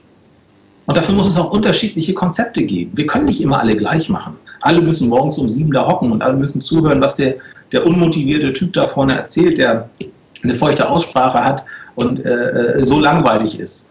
Ja? Wie, wie, wie einfach und billig wäre das, wenn man den talentiertesten Lehrer nähme, ja? den ist wirklich den talentiertesten Entertainer, der so toll Erdkunde rüberbringt, dass wirklich jeder gebannt zuhört. Und den nimmt man auf Video auf. Ja? Und dann nimmt man jede Lektion und macht die, packt die auf YouTube. Was kostet das? Da kann man sogar zurückspulen. Das kann man in der Schule nicht. Also es gibt hunderte von Ideen, die man, die man, wenn man ein bisschen Zeit hat, entwickeln könnte. Und äh, also nur wir dürfen sie nicht benutzen. Es ist ja, es ist ja nicht mal gestattet, dass man sich diese Gedanken macht, weil wir, weil wir ein Gewaltmonopol auf Bildung haben. Wenn ich mein Kind nicht hinschicke in die Schule, komme ich ins Gefängnis. Das ist die Situation heute. Ja, okay, der ja. Heiko würde gerne noch mal was ausführen dazu, weil er, denke ich, hat die Frage dann auch noch mal ähm, in die Richtung Bildungschancen, gleiche Bildungschancen verstanden. Das war auch, glaube ich, so korrekt. Bitte, Heiko. Ja, also ich glaube, ähm, in der PISA-Studie hat man herausgefunden, dass Deutschland ziemlich unfaires Land ist, insofern, als dass ähm, die Kinder mit den äh, besten ähm, also mit den Eltern mit den besten äh, ökonomischen Voraussetzungen oder Bildungsvoraussetzungen, dass die dann auch in dem Schulsystem besonders gut abschneiden. Und das will man ja eigentlich nicht. Man möchte ja schon auch gerne, dass äh, begabte Arbeiterkinder, äh, sage ich mal, auch Professoren werden können, das mal ganz plakativ zu machen. Und ich, also die Frage ist natürlich sehr speziell und sehr konkret bezogen auf dieses Schulsystem, was wir im Moment haben. Und ich würde einfach nur mal sagen, dass wir als freiwillig frei doch sehr grundsätzlich da dran gehen, eben mit moralischen und philosophischen Argumenten, und dass wir so für so eine konkrete äh, Frage eigentlich keine konkrete Antwort haben, außer das, was Hauke gesagt hat, dass wenn man, ähm, wenn man das, äh, wenn man in den Wettbewerb der Ideen eingehen lässt, dass dann sich was Besseres entwickelt, als was wir im Moment haben. Weil ich würde die Situation, die wir im Moment haben, so beschreiben, dass die Schule ist so ätzend und so kinderunfreundlich, dass natürlich, ähm, ich sage es mal zugespitzt, Elite-Eltern, die haben so viele Ressourcen, dass sie ihre Kinder durch dieses System einigermaßen erfolgreich durchkriegen. Und die weniger ähm, ressourcenreichen Eltern, sag ich mal platt Arbeiterkinder, die äh, haben nicht die Ressourcen und dann bleiben ihre Kinder in diesem Schulsystem hängen und haben eben nur einen Hauptschulabschluss, wenn sie überhaupt einen kriegen. Also äh, insofern ist dieses System natürlich total ungerecht. Und ähm, ich glaube, wenn man Kinder lernen lässt ähm, nach ihrer Leidenschaft, so wie der Hauke das auch angedeutet hat, dass dann es viel schwerer wird, dass die äh, Eltern mit den vielen Ressourcen ihre Kinder nach vorne pushen können. Ein Beleg dafür ist zum Beispiel eine Studie, die ich in den USA gesehen habe. Da haben sie, ähm, da gibt es ja sehr viele Menschen, die Homeschooling machen. Und da haben sie untersucht, mit welchen Bildungsvoraussetzungen Eltern ihre Kinder äh, homeschoolen. Und dann haben sie geguckt, welche, ähm, die haben ja diese Vergleichstests, wo man dann irgendwie gucken kann, ob man äh, im Durchschnitt liegt oder besser als, als der Durchschnitt ist. Dann haben sie geguckt, dass diese homeschoolten Kinder ungefähr ähm, ähm, wie soll ich das sagen, also 20 Prozent über dem Durchschnitt waren, im Durchschnitt. Und dieses, dieses Ergebnis war unabhängig davon, wie gebildet die Eltern waren. Also ob die Eltern jetzt College-Professoren waren, die Kinder waren im Durchschnitt 20 Prozent besser als der Durchschnitt. Oder ob die Kinder, ob die, ob die Eltern überhaupt gar keinen äh, Schulabschluss hatten. Es war immer noch so, dass die Kinder 20 Prozent besser als der Durchschnitt waren. Also das wäre nur so ein kleiner Hinweis dafür, ohne das jetzt als Lösung anpreisen zu wollen, Homeschooling, aber dass wenn man ähm, die Eltern sich aussuchen lässt, was sie denn mit ihren Kindern machen und mit den Bildungsmöglichkeiten ihrer Kinder veranstalten, dass dann sehr gute Lösungen dabei rauskommen. Und ähm, deswegen bin ich einfach dafür, dass man das äh, den Eltern freistellt, wie sie das machen. Okay, Andreas, die Frage damit beantwortet. Hast du noch weitere Fragen? Äh, so halbwegs, sag mal, also richtig war die Frage für mich jetzt noch nicht beantwortet, äh, weil ich sag mal, die Frage war ja eigentlich, sag mal, wie bekommen wir ein Bildungssystem hin, sag mal jetzt, wo für jeden die gleiche Chance besteht. Weil wir haben ja nun mal, sag mal jetzt, drei Schulsysteme, sag mal jetzt, Grund, Hauptschule und Gymnasium. Meine Tochter ist auf Gymnasium und äh, viele von den ehemaligen Grundschülern sind auf der Privatschule und die haben dort einen komplett anderen Lehrplan, sag ich jetzt mal. Und äh, eine einheitliche Bildung kann man eigentlich nur erreichen, wenn alle mit denselben Mitteln arbeiten. Äh, die Kinder, die sich da dann als Überflieger herausstellen, werden natürlich auch äh, explizit auf die Sachen, auf die sie eben äh, besonders gut äh, reagieren, sag mal jetzt, weiterhin in die Schule, wie zum Beispiel Mathe, Physik, Geografie, was auch immer. Äh, aber da wird meiner Meinung nach, sag mal jetzt, ein bisschen zu viel Etat, äh, zu wenig getan und äh, der Schulplan generell, sag mal jetzt, äh, wird wahrscheinlich auch vielen Eltern ziemlich gegen den Strich gehen. Aber man sollte jetzt auch mal überlegen, wie kann man es ändern und nicht nur vermuten, äh, ich finde Amerika ist ein schönes Land, aber mein Kind geht in Deutschland zur Schule und ich möchte, dass sie hier einen vernünftigen Abschluss hat. Und wenn es geht, sollten wir vielleicht alle denselben Abschluss haben, egal ob das Kind aus München oder aus MacPom oder sonst irgendwo herkommt. Ja, und das wäre jetzt eigentlich mal, sag mal, für mich die Frage, wie bekommt man sowas hin?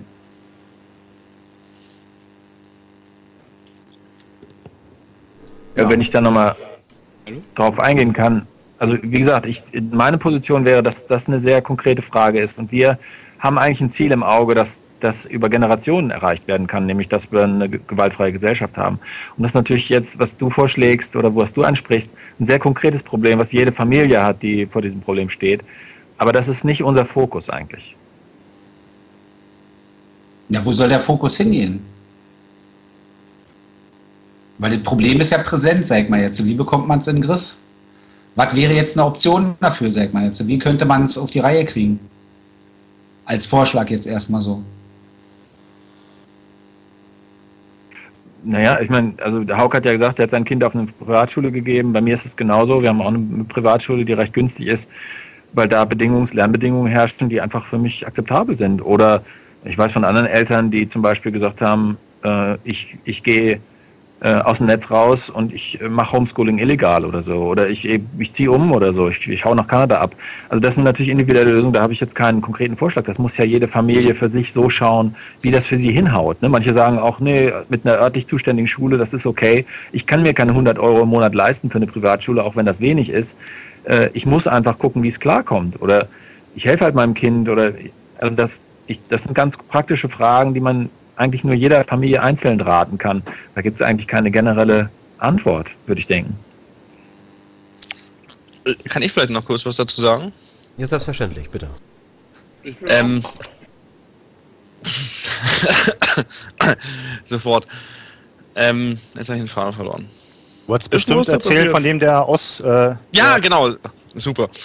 Ähm, wir haben da ein ganz schönes Beispiel. Also ähm, einer unserer Leser, der hatte genau auch das Problem, dass er halt ähm, eine Tochter hat, die ähm, jetzt gerade eingeschult wird und er halt einfach, ähm, er, sie möchte da auch nicht hin und ähm, er möchte es ja auch nicht antun und hat mich halt dann auch immer angerufen und hat einfach gefragt, so einfach um Rat gefragt, was ja, ich eh total Wahnsinn fand.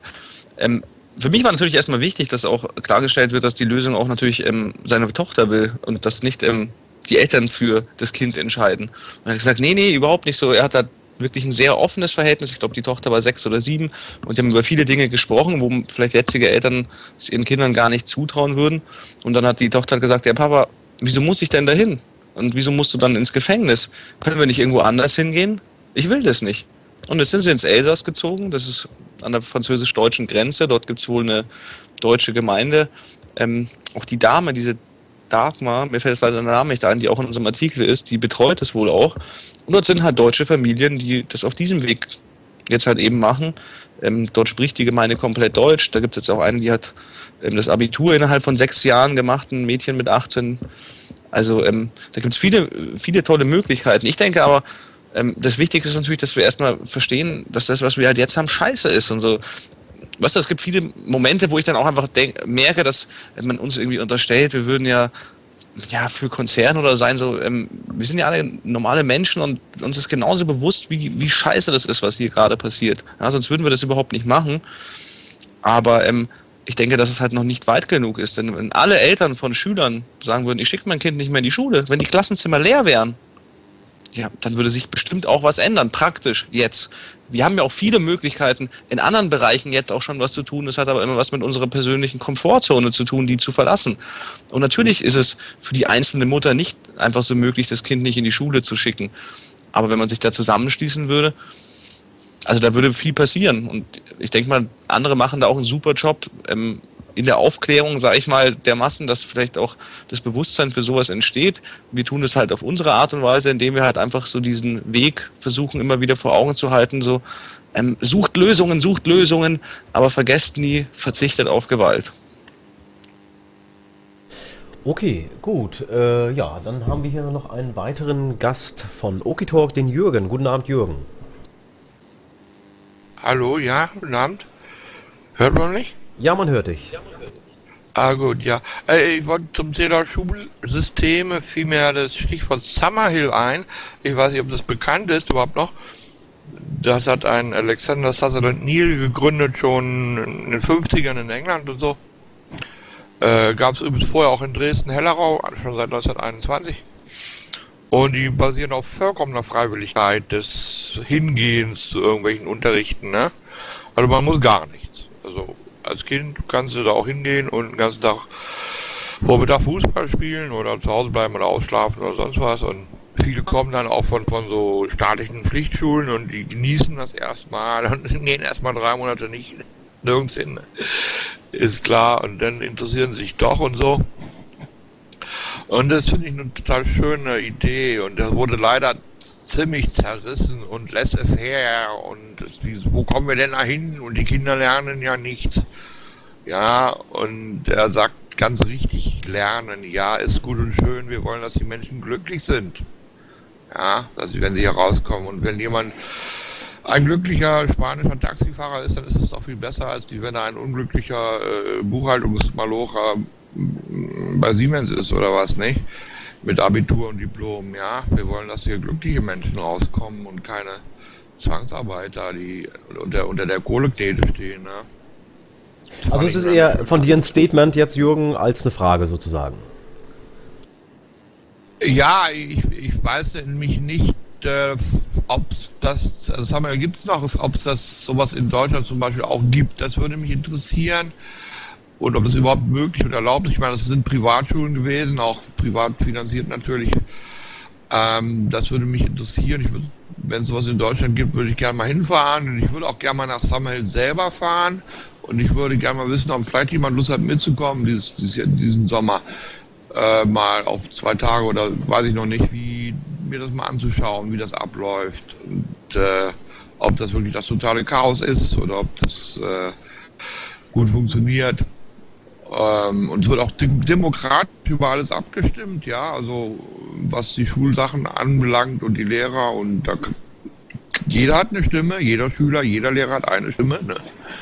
Also das ist richtig basisdemokratisch und das funktioniert seit 70 Jahren wunderbar. Ne? Okay, wir geben die Frage mal in die Runde, Jürgen, und, versuchen Sie mal zu beantworten, ob die Kollegen dort, äh, ich sehe hier im Chat passiert schon einiges. Ich glaube, der Heiko hat da auch was zu, zu sagen. Bitteschön.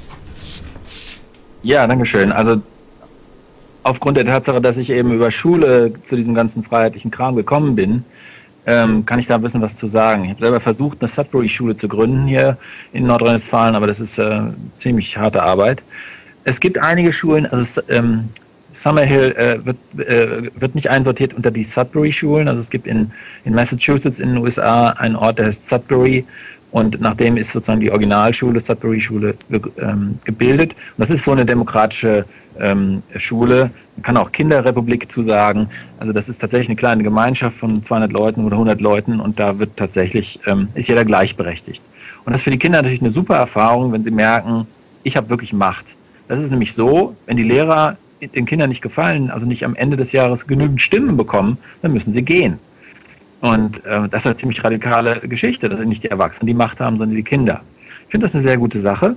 Und die Erfolge dieser Schule sind auch, wenn man sich das anschaut, absolut dramatisch. Ähm, also wir sind jetzt nicht so, dass das alles Professoren werden, weil nee, warum ist Professoren ist ja gar nicht so ein guter Job. Es gibt ja auch andere super Jobs. Aber diese Kinder werden in, sind in der Lage, glücklich zu sein und sind in der Lage, ihr Leben so zu gestalten, wie sie das brauchen, wie sie das haben wollen. Die leben ihr eigenes Leben. Und ich finde, das ist eigentlich ein wunderbares Ziel. Es gibt Versuche, solche demokratischen Schulen auch in Deutschland zu machen. Mir fallen jetzt erstmal nur zwei ein. Es gibt eine Netzwerkschule in Berlin. Es gibt auch noch eine andere freie Schule, glaube ich, in Berlin. Es gibt eine neue Schule in Hamburg. Da ist die Nena ähm, bekannt geworden, weil die die mitgegründet hat. Ähm, aber wenn man zum Beispiel demokratische Schulen mal googelt, da gibt es eine Seite, die alle diese Seiten, diese Schulen auflistet. Da kann man dann äh, anschauen, wo es diese Schulen überall gibt. Ähm, also ich finde das ein sehr gutes Konzept, das ist auch pädagogisch sehr erfolgreich.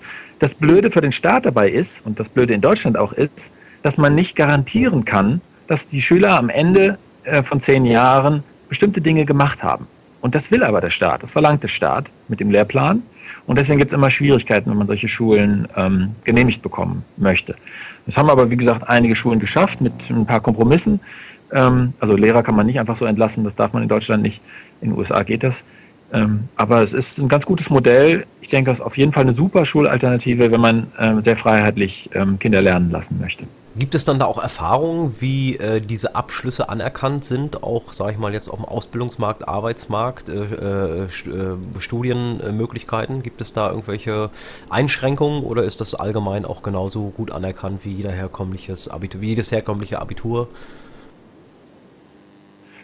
Äh, nee, das ist so, dass diese Schulen keine Schulabschlüsse vergeben. Es ist nur so, dass man seine Schulpflicht an diesen Schulen ähm, ableisten kann, sodass also nicht die Eltern oder die Schüler vom Staat mit der Polizei verfolgt werden, weil sie nicht zur Schule gehen. Also es ist, äh, ist aber keine anerkannte Schule in, in dem Sinne, dass sie jetzt äh, Zeugnisse verteilen dürfen, sondern es ist nur, dass der Staat sagt, okay, ihr macht, ihr macht mit den Kindern so wenig Mist, dass wir das akzeptieren, dass ihr das als Schule bezeichnet. Also sie ist praktisch eine geduldete Schule. Aber es ist keine Ersatzschule in dem Sinne, dass man also dann äh, Zeugnisse bekommt. Von daher müssen die Schüler am Ende des, der zehn Jahre ähm, eine Nichtschülerprüfung bei der Regie Bezirksregierung machen. Die gelten also praktisch als Nichtschüler und sagen, okay, ich habe aber den, das, den Stoff drauf und dann werden irgendwelche Lehrer ähm, äh, beordert oder eben Beamte von der Bezirksregierung und die prüfen dann diese Schüler und dann kriegen den Hauptschulabschluss. Das ist eigentlich in der Regel kein Problem, ähm, weil eben die Schüler sehr gut, also natürlich mindestens äh, den, den Stoff der Hauptschule drauf haben. Und wenn man dann weitergehen muss äh, oder möchte, zum Beispiel zum Studium, muss man dann tatsächlich eben gucken, wie man sich aufs Abitur vorbereitet. Da gibt es allerdings auch Möglichkeiten, das völlig frei zu machen. Es gibt zum Beispiel die Gruppe Methodos in Freiburg, die ähm, einen, einen privaten Verein gegründet haben und gesagt haben, wir kaufen uns Lehrer stundenweise ein, um unsere Abiturvorbereitungen zu unterstützen und die dann ähm, in einem Jahr den Stoff von drei Jahren machen und dann äh, sich von der Bezirksregierung prüfen lassen. Und da gibt es also, der erste Durchgang waren, glaube ich, sehr viele Leute, die mit einem Einser-Abi dann gemacht haben. Also es ist eine sehr erfolgreiche Sache. Es ist allerdings total viel Arbeit. Man muss in diesem Verein verwalten und man muss den Stoff lernen. Und das ist richtig harte Arbeit. Aber wenn man das dann hat, dann kann man auch richtig was.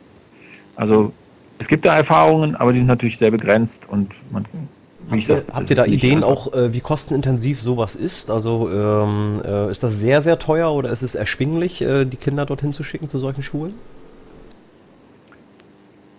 Also die sind sehr günstig, die Schulen. Ähm, man muss natürlich was bezahlen, ist klar, weil man äh, kriegt ja jetzt keine ähm, Schulgelder. Also ich glaube, in der neuen Schule Hamburg gibt es sogar tatsächlich vom, von der Schulbehörde Gelder. Also die werden die, kriegen die Sachkosten und Personalkostenzuschüsse.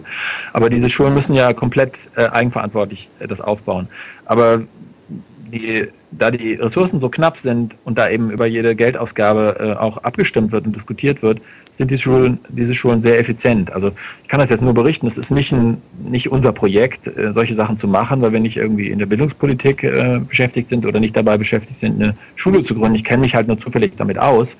Aber ähm, ja, also es, ist, es kostet natürlich was. Man muss diese Schule irgendwie tragen. Ne? Da ist es aber auch so, dass man, wenn man kein Geld hat, dann mit Arbeitsstunden vielleicht was machen kann. Also dass man nicht, dass nicht alle denselben Satz zahlen müssen. Ich weiß, dass diese Methodos-Gruppe, dass das schon eine ganze Menge gekostet hat, dass man da irgendwie 200 Euro im Monat ähm, haben musste, ähm, weil man eben diese Lehrer da einkaufen äh, musste, um für die Abiturvorbereitungen äh, Unterricht zu geben. Ähm, aber man kann das auch anders machen. Es gibt auch Leute, die sich ganz privat vorbereitet haben, ohne Lehrer auf Abitur und das auch geschafft haben. Aber das ist natürlich eine sehr, sehr riskante und sehr mutige äh, Sache. Äh, ich weiß von Leuten, die, bei denen das geklappt hat, da hat das dann gar nichts gekostet. Aber ähm, das sind natürlich Einzelfälle. Also wie gesagt, das ist, sind individuelle Lösungen, die nicht für alle passen. Ja, okay, dann wollen wir das Thema Schule dann auch soweit äh, belassen. Ja, ich würde gerne noch mal ein Thema aus dem Chat aus, aufgreifen. Und zwar wird dort auch immer wieder äh, im Laufe des Abends wurde dort auch immer wieder das bedingungslose Grundeinkommen äh, ähm, äh, benannt und diskutiert. Ähm, ähm, ich gehe mal davon aus, dass das sicherlich nicht in eurem Sinne ist, aber wäre vielleicht äh, mal die These aufgestellt, bedingungsloses Grundeinkommen, setzen wir auch mal voraus, wir haben ein Geldsystem, was dazu passt. Äh, zum heutigen Geldsystem würde es natürlich nicht passen. Ähm, äh, wäre das nicht aber auch eine Möglichkeit, Freiheit und Freiwilligkeit äh, im Grundsatz äh, zu, zu ermöglichen? Oder was spricht äh, vielleicht von eurer Seite äh, aus dagegen, also gegen ein äh, bedingungsloses Grundeinkommen? Also wenn man es gezwungen finanzieren muss, sehe ich die Basis für Freiwilligkeit nicht. Also ich finde ein BGE toll, wenn man nicht gezwungen wird, mitzumachen. Wie, wie, wie immer bei, bei, bei allem, was wir sagen wenn eine Finanzierung eines BGEs auf freiwilliger Basis passiert, ist das eine super Sache. Finde ich ganz toll. Würde ich total gut finden. Aber wenn man äh, gezwungen wird, äh, in diesen Pott reinzuschmeißen, dann ist das keine gute Basis für eine, für eine äh, Freiwilligkeit und ein Erlangen von Freiheit, denke ich. Ja, ich kann da vielleicht auch noch kurz was zu sagen. Ja, bitte. Ähm, nachdem ich ja auch mal pro BGE war. Ich finde es ja an sich auch toll. Also ich kann ja vielleicht sagen, was mich mal auch dazu bewegt hat, das für eine tolle Idee zu halten. Ähm, ich habe halt dann einfach nicht weitergedacht, weil natürlich ähm, so eine gewisse Grundsicherung und, und dass man ähm, ja, so die Chancengleichheit, die wir jetzt auch wollen. Und dann hätte man Zeit, sich mal über wichtige Dinge zu beschäftigen und müsste halt nicht die ganze Zeit irgendwie einen komischen Job machen, weil man Angst hat, diesen Job zu verlieren. Und dann würde man ja keinen Job mehr bekommen. Und ähm, das waren alles so Sachen, wo ich natürlich durch mein vielleicht soziales Empfinden gesagt habe, so ja, ey, das ist doch eine super Lösung. Ich habe ein Zitat mal gehört, so, ähm, also ein, wir haben, stell dir vor, es ist ein Arbeitslager und ähm, die ganzen Häftlinge ähm, bekommen halt von denen, die das Arbeitslager betreiben, Handschuhe, damit sie halt besser arbeiten können und weniger Schwielen bekommen. Ähm, natürlich ist für den Moment für diese Häftlinge diese Handschuhe eine tolle Sache, aber ähm, ich will halt, dass die ausbrechen Verstehst du? Dass es halt einfach aufhört mit dieser Sklaverei. Und da ist für uns halt ganz wichtig, dass sowas freiwillig sein muss. Und ich würde mich freuen, wenn auch äh, BGE-Befürworter und BGE ähm, Förder oder Aktive ähm, uns halt sich mit uns mal kurz schließen, damit wir das halt einfach mal durchchecken können, ob sich nicht doch vielleicht irgendwo diese Gewalt und dieser Zwang versteckt. Weil wenn das eben nicht der Fall ist, dann fände ich das wirklich super. Und ich würde auch in sowas einzahlen, weil jeder, der das ja super findet, ähm, muss, müsste ja auch freiwillig dazu einzahlen. Also ich kann ja nicht auf die Straße gehen und für ein BGE sein und dann zu sagen, ja, aber wenn es das gäbe, würde ich nicht einzahlen wollen. Das wäre ja auch wieder äh, totale Heuchlerei. Also insofern würde ich mich wirklich freuen. Ich kenne da eigentlich kaum ein Konzept, muss ich ganz ehrlich gestehen. Ähm, so das, was Pop hat, geht vielleicht schon so in Richtung, aber eben durch diese Kontrollinstanz, die dann eben auch diese äh, Eigentumsverteilung ist, ist es natürlich auch wieder ein bisschen kritisch, aber das ist vielleicht so eine Sache, dass es eben durch diese ja, keine Ahnung, durch diese Abgaben, die dann eben Eigentumsbesitzer haben, aber das ist was, mit was wir uns gar nicht so beschäftigen wollen. Haben wir auch nicht die Zeit für. Okay, wollte ich einfach nur nochmal angesprochen haben, weil es halt im Chat Danke. auch immer mal ein bisschen äh, kursiert und diskutiert wurde darüber. Ja, wie sieht es dann aus bei euch? Ähm, äh, wie versucht ihr eure Themen auch weiterhin an den Start zu bringen? Also ihr macht einen YouTube-Kanal, ihr habt äh, eine eigene Webseite. Ähm, geht ihr auch konkret zum Beispiel auch auf Vortragstouren, um ähm, Leuten diesen Volontarismus ähm, zu erklären, äh, näher zu bringen? Äh, welche Methoden oder Mittel habt ihr dort, äh, um eure Ideen weiter zu verbreiten, die ihr habt? Also vielleicht sage ich kurz was dazu.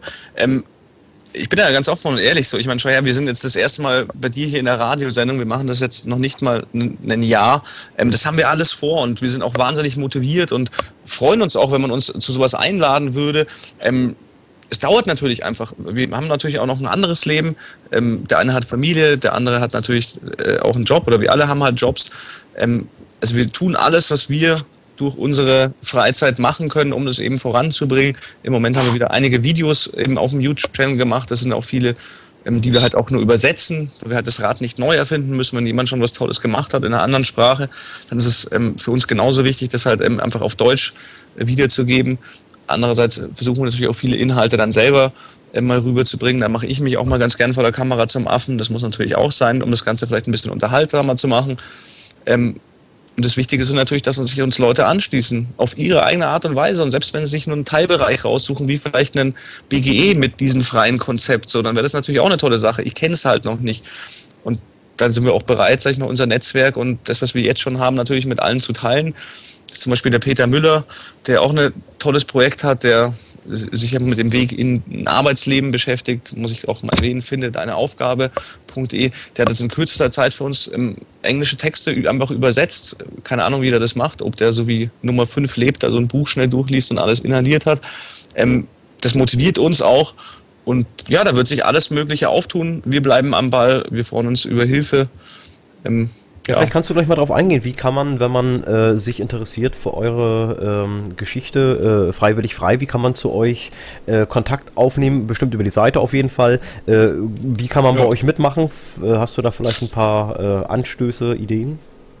Ja, also ich meine natürlich das einfachste über die Seite. Man kann uns eine E-Mail schreiben, info at freiwilligfrei.info also nicht de.info, über das Kontaktformular auf der Seite. Ähm, wir haben dort einen, einen Link zu unserem Forum. Dort sind schon viele, die sich eben auch kurz schließen und man kann natürlich diesen Gedanken von dieser gewaltfreien Gesellschaft einfach auf seine Art und Weise weitertreiben. So, man muss sich dann nicht unseres Namens bedienen. Also es gibt so Sachen wie Freitum und auch noch andere, die sich eben auf die Art und Weise beschäftigen. So, das ist einfach nur unser Ziel. Jeder soll das machen. Äh, man kann uns natürlich auch spenden. Wir setzen das natürlich dann auch komplett nur für ähm, den Betrieb der Internetseite und halt ähm, Sachen, die man halt einfach leider bezahlen muss, die man nicht umsonst bekommt. Ein bis jetzt geben wir das halt aus unserem Privaten dazu, weil es uns so wichtig ist. Aber ja, also ähm, tretet mit uns in Kontakt und wenn ihr tolle Ideen habt, wie wir die Sache zusammen noch weiter voranbringen können, äh, freuen wir uns, weil mehr wie vier Köpfe natürlich noch viel, viel mehr erreichen. Obwohl wir mittlerweile schon, keine Ahnung, wie viele im Forum haben. Auf jeden Fall über 100, ne? Also ihr ich seid nämlich forumsfaul, muss ich gestehen. auf jeden Fall, auf jeden Fall offen für, für neue Thematiken und für äh, neue Ideen äh, seid ihr auf jeden Fall offen. Ja, und wir werden auch einen Vortrag ausarbeiten, auf jeden Fall. Das müssen wir jetzt auf jeden Fall machen, weil ich mich dann so weit aus dem Fenster lehne, dass ich sage, so schreibt uns an und dann kommen wir vorbei und halten einen Vortrag. Jetzt äh, haben wir gar keine Wahl mehr zurück. Also ja, wir müssen das eh zusammen machen, das ist uns doch auch klar. Ich meine, sonst würden wir doch die Internetseite für uns selber machen und uns gegenseitig die Artikel vorlesen.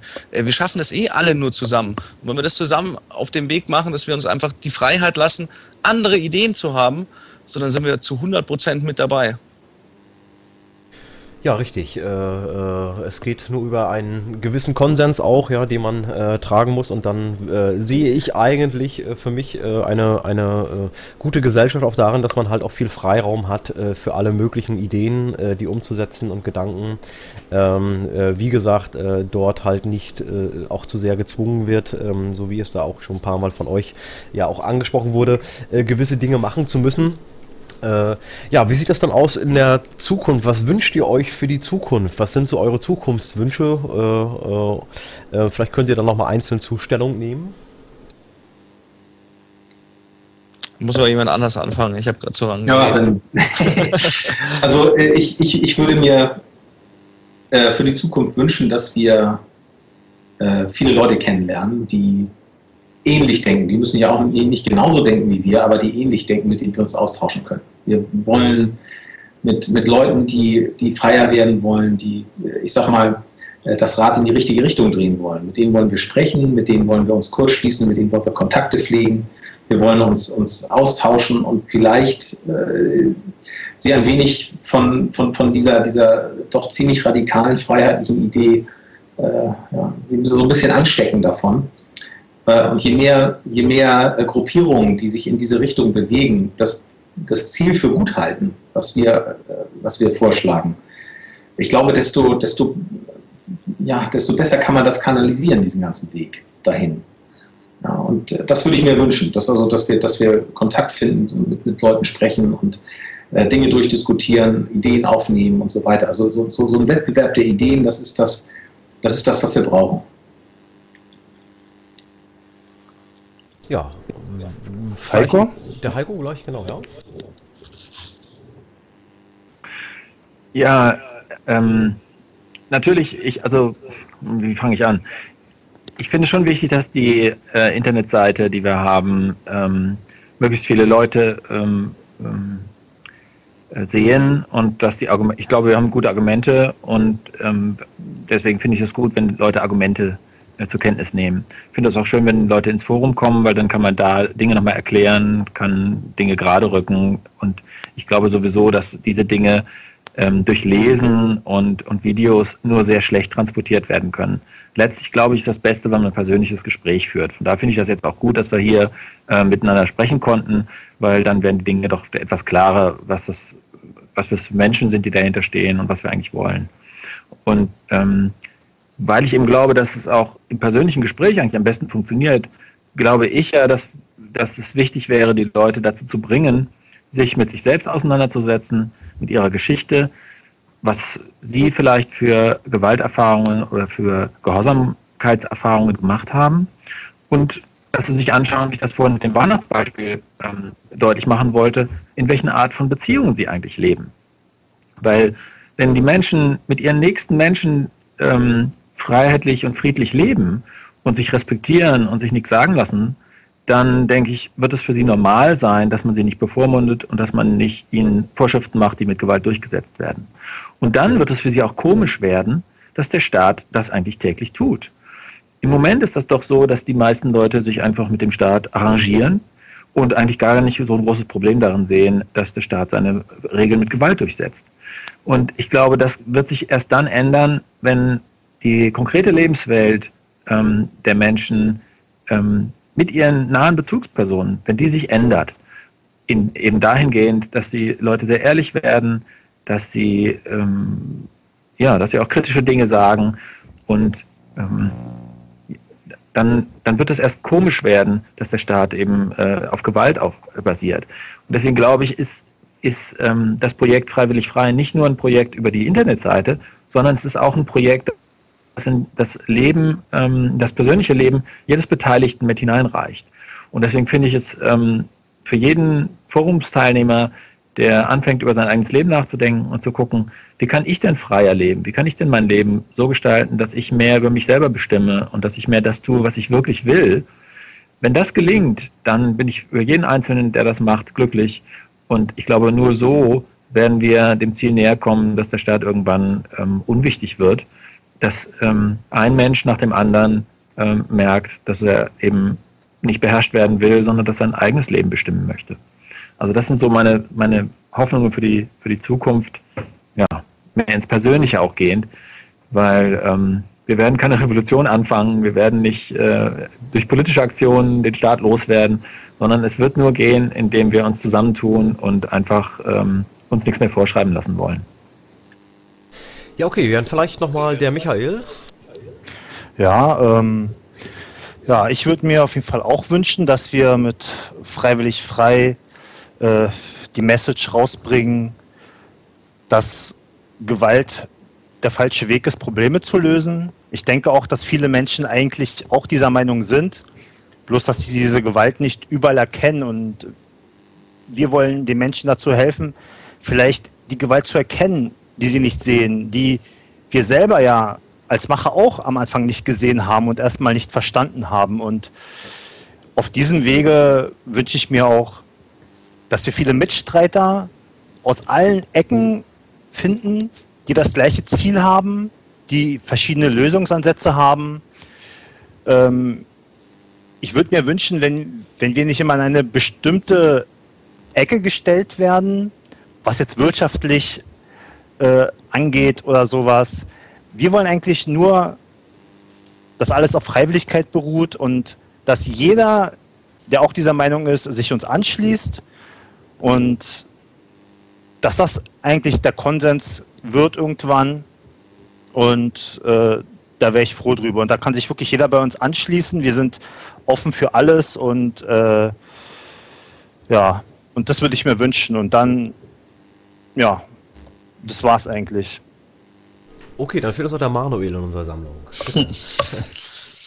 ja, ähm, ich wünsche mir auch einfach, dass es ähm, ein Zusammen in Zukunft geben wird und nicht halt so dieses Gegeneinander. Ich weiß, ich bin ja auch jemand, der sich, sich mal so ein bisschen in dieser äh, Wahrheitsbewegung oder wie man es auch immer nennen mag, im Internet äh, schon eine Zeit lang rumtreibt und wir suchen immer so die Unterschiede und ähm, jetzt habe ich eine Sache gefunden, die ihr scheiße macht und deswegen mache ich jetzt lieber ein Video gegen dich wie ein Video für dich.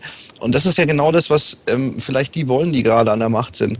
Und uns unterstellt man auch wahnsinnig viele Sachen und jeder, der uns schon mal was unterstellt hat, ist trotzdem herzlich willkommen. Und ich würde mir einfach wirklich wünschen, wenn wir das irgendwie hinkriegen, ähm, doch mal alle gemeinsame Sache zu machen. Wie weiß ich nicht, ähm, ob es reichen wird, eine Facebook-Gruppe zu gründen. Ich bezweifle es. Ähm, es kann nur so funktionieren, ja, sonst wird da bestimmt auch noch einiges Arges in der Zukunft passieren. Ähm, ich sehe sogar in der nahen Zukunft, ich meine, ich denke, die Zuhörer beschäftigen sich mit den aktuellen Situationen und das ist einfach so mein Wunsch, dass wir wirklich so diesen Durchbruch schaffen, einfach mal so diese kleinen Unterschiede ähm, beiseite zu lassen und solange wir uns dann respektieren und eben nicht andere zu unserer Idee zwingen wollen, ähm, ja, dann sehe ich da auf jeden Fall gute Chancen und bin optimistisch. Also anpacken, versteht's ja? Okay, wunderbar. Ich möchte noch eine letzte Frage aus dem Chat aufgreifen. Und zwar geht es nochmal um die Geschichte Neudeutschland. Ist euch das bekannt? Und da wurde gefragt, welche Meinung ihr zu dieser äh, äh, zu, äh, Geschichte habt, Neudeutschland, falls euch das ein Begriff ist. Ähm, kurz überlegen, also mir ist auf jeden Fall ein Begriff, ähm, ist es so diese, wie nennt sich das, Personenstandserklärer, staatliche Selbstverwaltung? Bin ich da auf dem ähm, richtigen? Nee, das ist äh, eher ja, so ein, äh, so ein, so ein ja, eine, äh, auch eine Lebensgemeinschaftsorganisation, wie Peter Fitzek ist dort der, der führende Kopf dort bei dieser Geschichte. Äh, ähm, ist nicht direkt äh, eine Selbstverwaltung, glaube ich jetzt nicht. Äh, die haben da halt äh, so eigene Lebens, ähm, eigene Regeln aufgestellt, äh, so einen eigenen, äh, sag ich mal, Mini-Staat im Staat, kann man vielleicht das so grob bezeichnen. Also ist euch nicht so bekannt, also könnt ihr auch nicht so viel zu sagen, dann ist das ja auch geklärt, die Frage. Also ich sag mal so, ich kann eine Sache sagen, wenn alle, die da mitmachen, das freiwillig tun, ähm, dann finde ich das top. So Ja, okay, gut, dann äh, nehmen wir das mal als Schlusswort. Ich bedanke mich auf jeden Fall bei euch für das Interview, äh, ähm, dass ihr heute Zeit gehabt habt und hier äh, das Interview geben konntet. Ich wünsche euch auf jeden Fall persönlich alles Gute für die Zukunft und ja, wir werden sehen, äh, wie es sich bei euch dann weiterentwickelt. Äh, äh, nochmal für auch die für die Radiozuhörer nochmal die Seite freiwilligfrei.de oder auch freiwilligfrei als ein Wort.info, sobald ich richtig, so wenn ich richtig informiert richtig. bin. also da könnt ihr praktisch auch nochmal Informationen, Videos sehen, äh, äh, die dort äh, unsere Gäste online gestellt haben. Und natürlich auch ein Forum zur Diskussion diskutiert mit. Äh, wie gesagt, äh, Ideen sind gefragt, äh, was tun ist angesagt. Ähm, alles schlecht reden ist natürlich auch nicht immer so positiv. Also man sollte auch sich selber Gedanken machen, wie man hier eine Veränderung herbeiführen kann, wenn man dann eine Veränderung möchte. Wir wissen, das ist alles sehr kompliziert, sehr komplex. es gibt sehr, sehr viele Baustellen. Das haben wir noch mit, mittlerweile mittlerweile äh, viele Menschen auch mitbekommen im Laufe ihrer eigenen Aufklärung, die sie vielleicht in den letzten Jahren so äh, durchlaufen haben. Ja, äh, nächste Woche äh, ist wieder eine Klartext-Sendung äh, und äh, wir werden dieses Jahr noch äh, weitere vier Klartext-Sendungen nur noch machen. Das heißt, ähm, ich kündige schon mal an, dass wir nach der 50. Klartext-Sendung, das wird Anfang April sein, einen Break machen werden, äh, der sicherlich etwas länger andauern wird. Ähm, das hat ähm, mannigfaltige Gründe, warum das so ist. Ähm, äh, wie gesagt, äh, es sind wahrscheinlich erstmal nur noch vier Klartext-Sendungen, die es geben wird. Und nächste Woche haben wir bei uns zu Gast den Sänger äh, Christian Anders, äh, den vielleicht der eine oder andere noch bekannt ist, vielleicht aus der Schallplattensammlung der Mutter oder vielleicht auch selber noch ein, äh, seine Lieder ab und zu mal hört. Es fährt ein Zug nach nirgendwo. Es wird aber nicht um Musik gehen. Ähm, das würde äh, jetzt so ins Kulturstudio nicht so unbedingt passen. ich weiß nicht, ob er Anders vielleicht auch für uns was singt. Mag ja auch möglich möglich sein. Äh, wir wissen, dass Herr Anders natürlich auch politisch sich momentan sehr konkret äußert. Er hat auch ein Buch geschrieben, darüber werden wir reden. Es wird also auch um das Geldsystem gehen, ähm, um das äh, Weltsystem sozusagen, die äh, Welt, äh, der Welt sozusagen, die er dort auch kritisiert, äh, aus seiner Sicht äh, etwas ähm, betrachtet. wie gesagt, wir werden dazu nächstes, nächste Woche Donnerstag mehr erfahren.